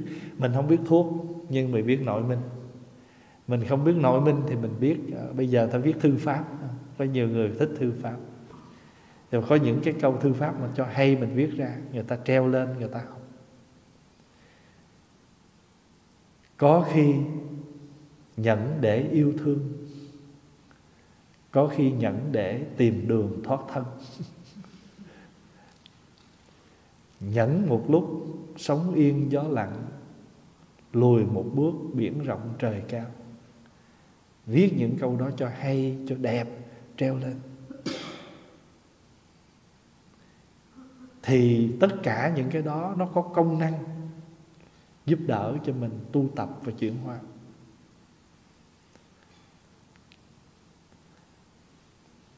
Học lục ba la mật, vân vân. Pháp Hòa không có thời gian để giới thiệu hết với đại chúng 53 53 trường hợp nhưng mà ở đây Pháp Hòa chỉ muốn nhắc nhở để cho chúng ta biết rằng á, thí dụ như tối nay là mình đón giao thừa, cái mình nói là ngay cái giây phút bước sang năm mới, cái mình nói mình đã bước sang một năm mới. Thường thường mình, cái cũ xong mình nói giao thừa, giao lại giao lại cái năm cũ để mình thừa hưởng năm mới kêu là giao thừa. Thì giây, cái giây phút đúng 12 giờ đó là giây phút giao thừa. Giao cái cũ, tiếp cái mới. Gọi là giao thừa. Và mình nói rằng á, trước thềm năm mới, nghĩa là sắp sửa đó, trước thềm năm mới là mình đi tới cái năm mới và mình bước vào. Hay là nói, bước sang năm mới, con kính chúc bạn thì bước sang đó là mình nhập vào một năm mới. Và nói cho đúng là ngày nào mình cũng nhập, có pháp giới để mình nhập hết. Nhưng mà nếu mà mình mình đem cái tâm chân thành của mình nhập vào tất cả các cảnh giới thì cảnh giới nào cũng là cảnh giới để mình tu học hết. Cảnh giới nào cũng là cảnh giới để mình tu hết. Mùa lạnh, cảnh giới mùa lạnh nó đẹp không? Mùa đông, cảnh giới mùa đông đẹp không?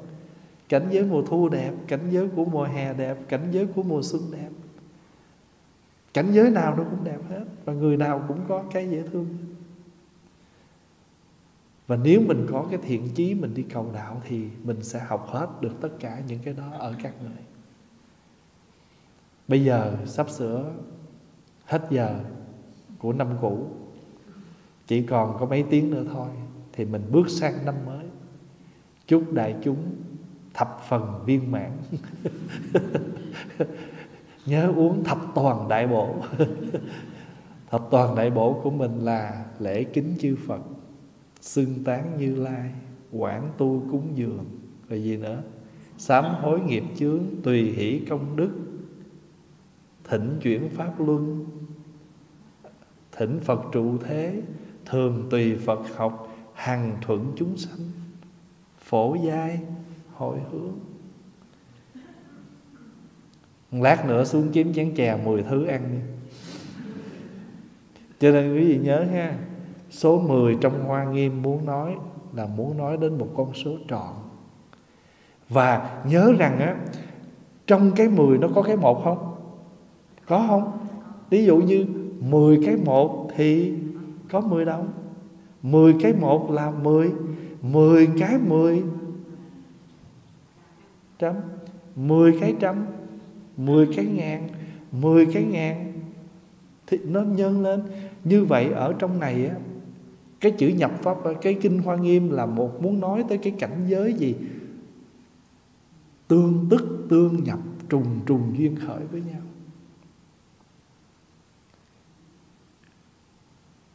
Quý vị à, thấy cái người con đó mặc dù ba nó không có đây, nhưng mà mình thấy người con, thấy có một hai nét gì của ba nó. Vậy thì trong cái pháp giới của đứa nhỏ này, nó có pháp giới của ba nó.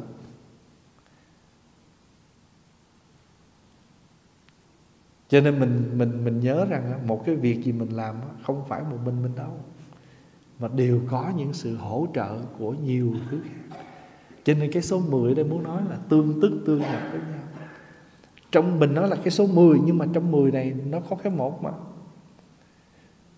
Trong 10 này nó có cái một. Dù là ngàn, là trăm, là bao nhiêu đi nữa, cho nên có cái phẩm a tăng kỳ, phải không? Hôm qua mình tụng có phẩm a tăng kỳ, cứ nói số nhân nhân nhân lên đó. Đó, cái phẩm đó là muốn nói cái vụ này nè. Muốn nói cho chúng ta biết rằng á, là trong cái pháp giới, trong cái thế giới, chúng sanh mình đang sống đây nè, nó đều có cái sự hỗ tương cho nhau hết á mình mà không có 10 đồng lấy gì, mình không có một đồng lấy gì, mình có tới 10 đồng. Có nhiều người có hai đồng bạc mà gây nên cả một sự nghiệp. Vậy thì cả một sự nghiệp bạc tỷ, bạc triệu của họ bây giờ là từ đâu ra? Từ cái hai đồng này. Rồi bây giờ ngày nay là mình chữ nghĩa một khối đó là từ cái chữ gì mà ra? Alphabet. Nếu, bây giờ thí dụ bây giờ mình có viết văn cho giỏi đi nữa đó, có ngoài hai mấy chữ cái này đâu viết cả cuốn sách thì nó tới luôn cũng mấy chục chữ cái này thôi.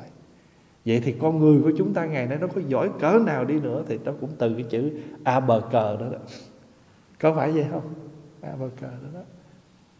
Rồi ngày nay là mình có biết tán biết tụng à, biết chữ gì cũng từ những cái mới đầu mình vô học à, chuông ba cái mỏ ba cái mình cứ gõ từ từ từ nhịp từ nhịp vậy đó. Rồi mới đầu mình vô tụng kinh mình run dữ lắm mình lấy tay mình nhịp mình làm tùm lum hết trơn á, nhưng mà giờ mình rất giỏi.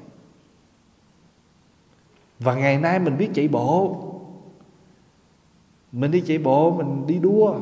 Không phải là từ những bước đi bập bẹ của mình từ nhỏ đó sao? Phải không? Ngày nay mình có làm đẹp đi nữa cũng từ những cái đẹp rất là đơn sơ của mình từ hồi nhỏ đó. Cho nên thật ra nói kinh hoa nghiêm kinh đại thừa chứ cuối cùng đem ra phân tích thì mình thấy nó ở đâu? Nó ngay trong cuộc sống của chúng ta. Vì không có thời gian để mình nói nhiều tất cả nhưng mà hay lắm. Hay lắm. Cho nên mình á, nếu mà quý vị mà có một chút à, tư lương đọc kinh đại thừa rồi thì mình bơi vào trong những bộ kinh đó thì mình sẽ thấy rất là lý lẽ sâu sắc và và mình tìm ra được. Thậm chí cái tên của người thôi, mình cũng tìm ra được, có cái ngụ ý trong đó. Giống như có một cái bà la môn tên là thắng nhiệt. Bà la môn thắng nhiệt. Nhiệt là gì? Hả? Chữ nhiệt là nghĩa là gì? Nhiệt là nóng. Thắng là gì? Thắng là vượt vậy thì bà la môn tên là thắng Diệt nghĩa là bà la môn này có phương pháp dạy cho mình thắng đi những cái cơn nóng bức. Nhưng mà cái gì, con người mình cái gì nóng nhất? Sân. Ờ, mà sân là một trong những cái căn bản độc nhất trong con người của chúng ta. Tham, sân, si là ba cái độc nhất. Thật ra mình có tới sáu độc rồi nhà phật gọi là sáu căn bản phiền não. Tham, sân, si, mạng, nghi, ác kiến. Sáu căn bản phiền não. Rồi từ sáu căn bản phiền não này, nó sanh ra những cái phụ tùng của nó. Thì nhà Phật gọi là tùy phiền não. Cái cái cái sáu này gọi là căn bản phiền não nhé. Tham, sân, si, mạng, nghi ác kiến. Rồi tùy phiền não là những cái follow những cái đi theo đó. Ví dụ như giờ nè mình sân là nổi lửa lên phải không? Là sân. Nhưng mà nó có những cái chi tiết của sân. Giờ tu cái hình như thân hết rồi giờ còn gì phải không? Hờn. Phẫn hận phú não đó. Để mai mốt học kinh uh, kim quang minh. Mình đang học kinh kim quang minh đó. Mai mốt sẽ học tới mấy đoạn này. Nhưng mà về giáo lý đó đây là nội minh đó. Về giáo lý là mình học về con người mình đó, là trong mình nó có những tâm hành là của tham sân si mạng nghi ác kiến. Sáu cái này gọi là sáu căn bản phiền não còn nếu mà chi tiết về sao về cái ác kiến cái kiến là thấy nó còn bốn cái thứ thấy khác nữa cộng lại là mười. Gọi là mười cái phiền não căn bản. Chi tiết thì mười nói gọn còn sáu gọn nữa là mấy? Ba. Tham sân si. Rồi từ ba này gọn nữa là còn có một thôi tham. Cho nên ăn đó, lúc ăn đó, phải phòng ngờ cái tâm tội lỗi. Tham là gốc. Tham là gốc. Tham ăn tham ngủ tham tiền tham sắc tham danh. Đó, đó là năm cái tham căn bản đó. Tài sắc danh thực thụy. Quý vị có thấy gì ăn mà gây lộn không? Có không? À, vì cái danh mà gây lộn có không? Vì chỗ ở, chỗ ngủ mà cái lộn có không? Tài sắc danh thực thùy gọi là ngũ dục. Cho nên thời giờ của mình để làm gì?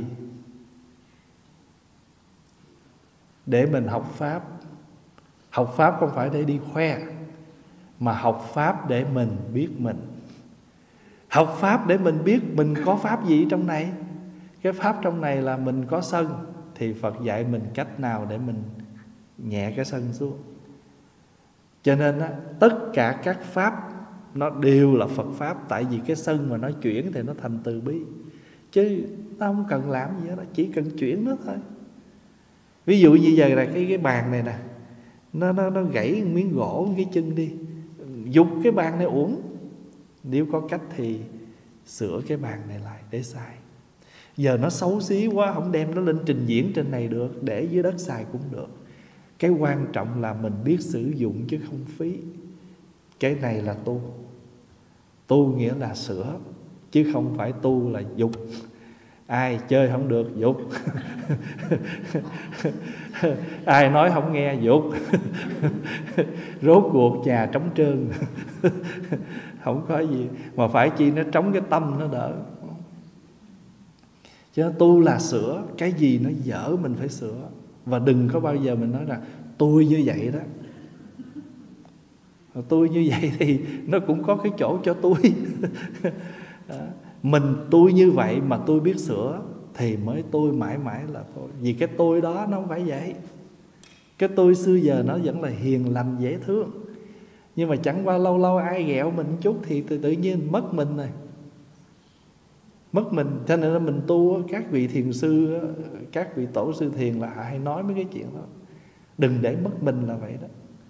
Tự nhiên đang vui vẻ vậy, cái ai nói câu gì, cái là mình mất mình. Mà mất mình là mình không phải là mình. Mà không phải là mình thì mình nói toàn là những chuyện gì đâu không. Nghe khó nghe lắm. Giờ quý vị hiểu được cái nhập pháp giới không? Vậy sẵn sàng chuẩn bị nhập pháp giới chưa? Trang bị cho mình một tư lương nhập pháp giới, Phải có văn thù, Phải có phổ hiền.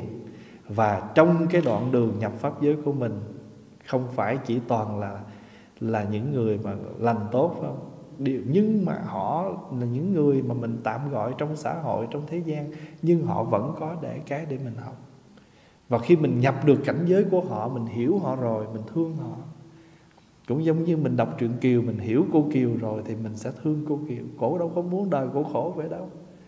Nhưng mà cổ có cái hoàn cảnh của cổ. Cổ có hoàn cảnh của cổ. Rồi cô hoàng thơ đó, cổ đâu có muốn cổ vậy đâu.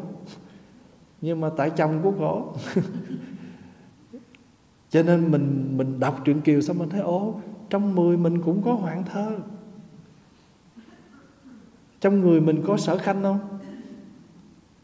Trên đời này mình thấy ai vậy anh nó sở khanh nhưng mà trong người mình nó cũng có những cái đó. Và tu là để mình thấy hết tất cả những cái đó. Pháp thiện có, pháp ác có. Và mình lấy cái pháp thiện không có chống mà để xoa dịu. Như pháp hòa ví dụ vậy đó, nóng thì mình lấy cây quạt mình quạt. Bữa giảng cho mấy đứa nhỏ và nói mấy chuyện đơn giản vậy, đi ra đường lạnh quá, lấy cao lạnh mặt, đâu có chống gì đâu mình mặc vô thì tự nhiên cái lạnh nó hết thôi. Mình bước chân ra ngoài nó lạnh quá, mình mang đôi giày vô. Thì cái đôi giày nó không chống gì chân á, mà nó giúp cho mình bước đi được an toàn hơn. Thế thôi. Cái chỗ đó trơn quá, rải muối lên. Muối nó đâu có chống gì đâu. Nó chỉ làm cho con đường nó đừng trơn thôi. Rải cát lên đó. Rồi bên đường này tuyết nhiều quá, mình xúc tuyết đi. Đem đi đâu? Để bên đường thôi, chứ đem sao đâu. Nó nó cản đường thì mình đem nó qua bên này, để mình cái đường mình đi vậy thôi. Và khi mình mình sở dĩ mà mình có nhiều cái depress, nhiều cái stressful là tại vì mình cũng nghĩ rằng xung quanh mình. Cho nên mình, mấy vị hay hỏi có cái cách mà nó không? Phải nói chuyện từng người, phải hiểu được từng cái có nhiều người stress kiểu này, người stress kiểu kia không thể đưa một công thức chung. Và ý Pháp Hòa muốn nói cái gì? Mình ngồi đó mình nghe được họ Là mình nhập được pháp giới của họ. Mà nhập được pháp giới của họ rồi Mình sẽ tìm ra được công thức cho họ. À, chúc đại chúng, Ai cũng là một thiện tài đồng tử. Chuẩn bị nhập pháp giới ha.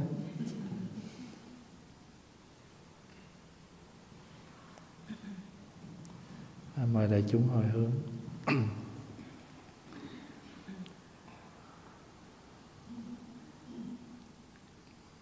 có cái điều nữa quên nói. Tại sắp sửa hồi hướng mới nhớ.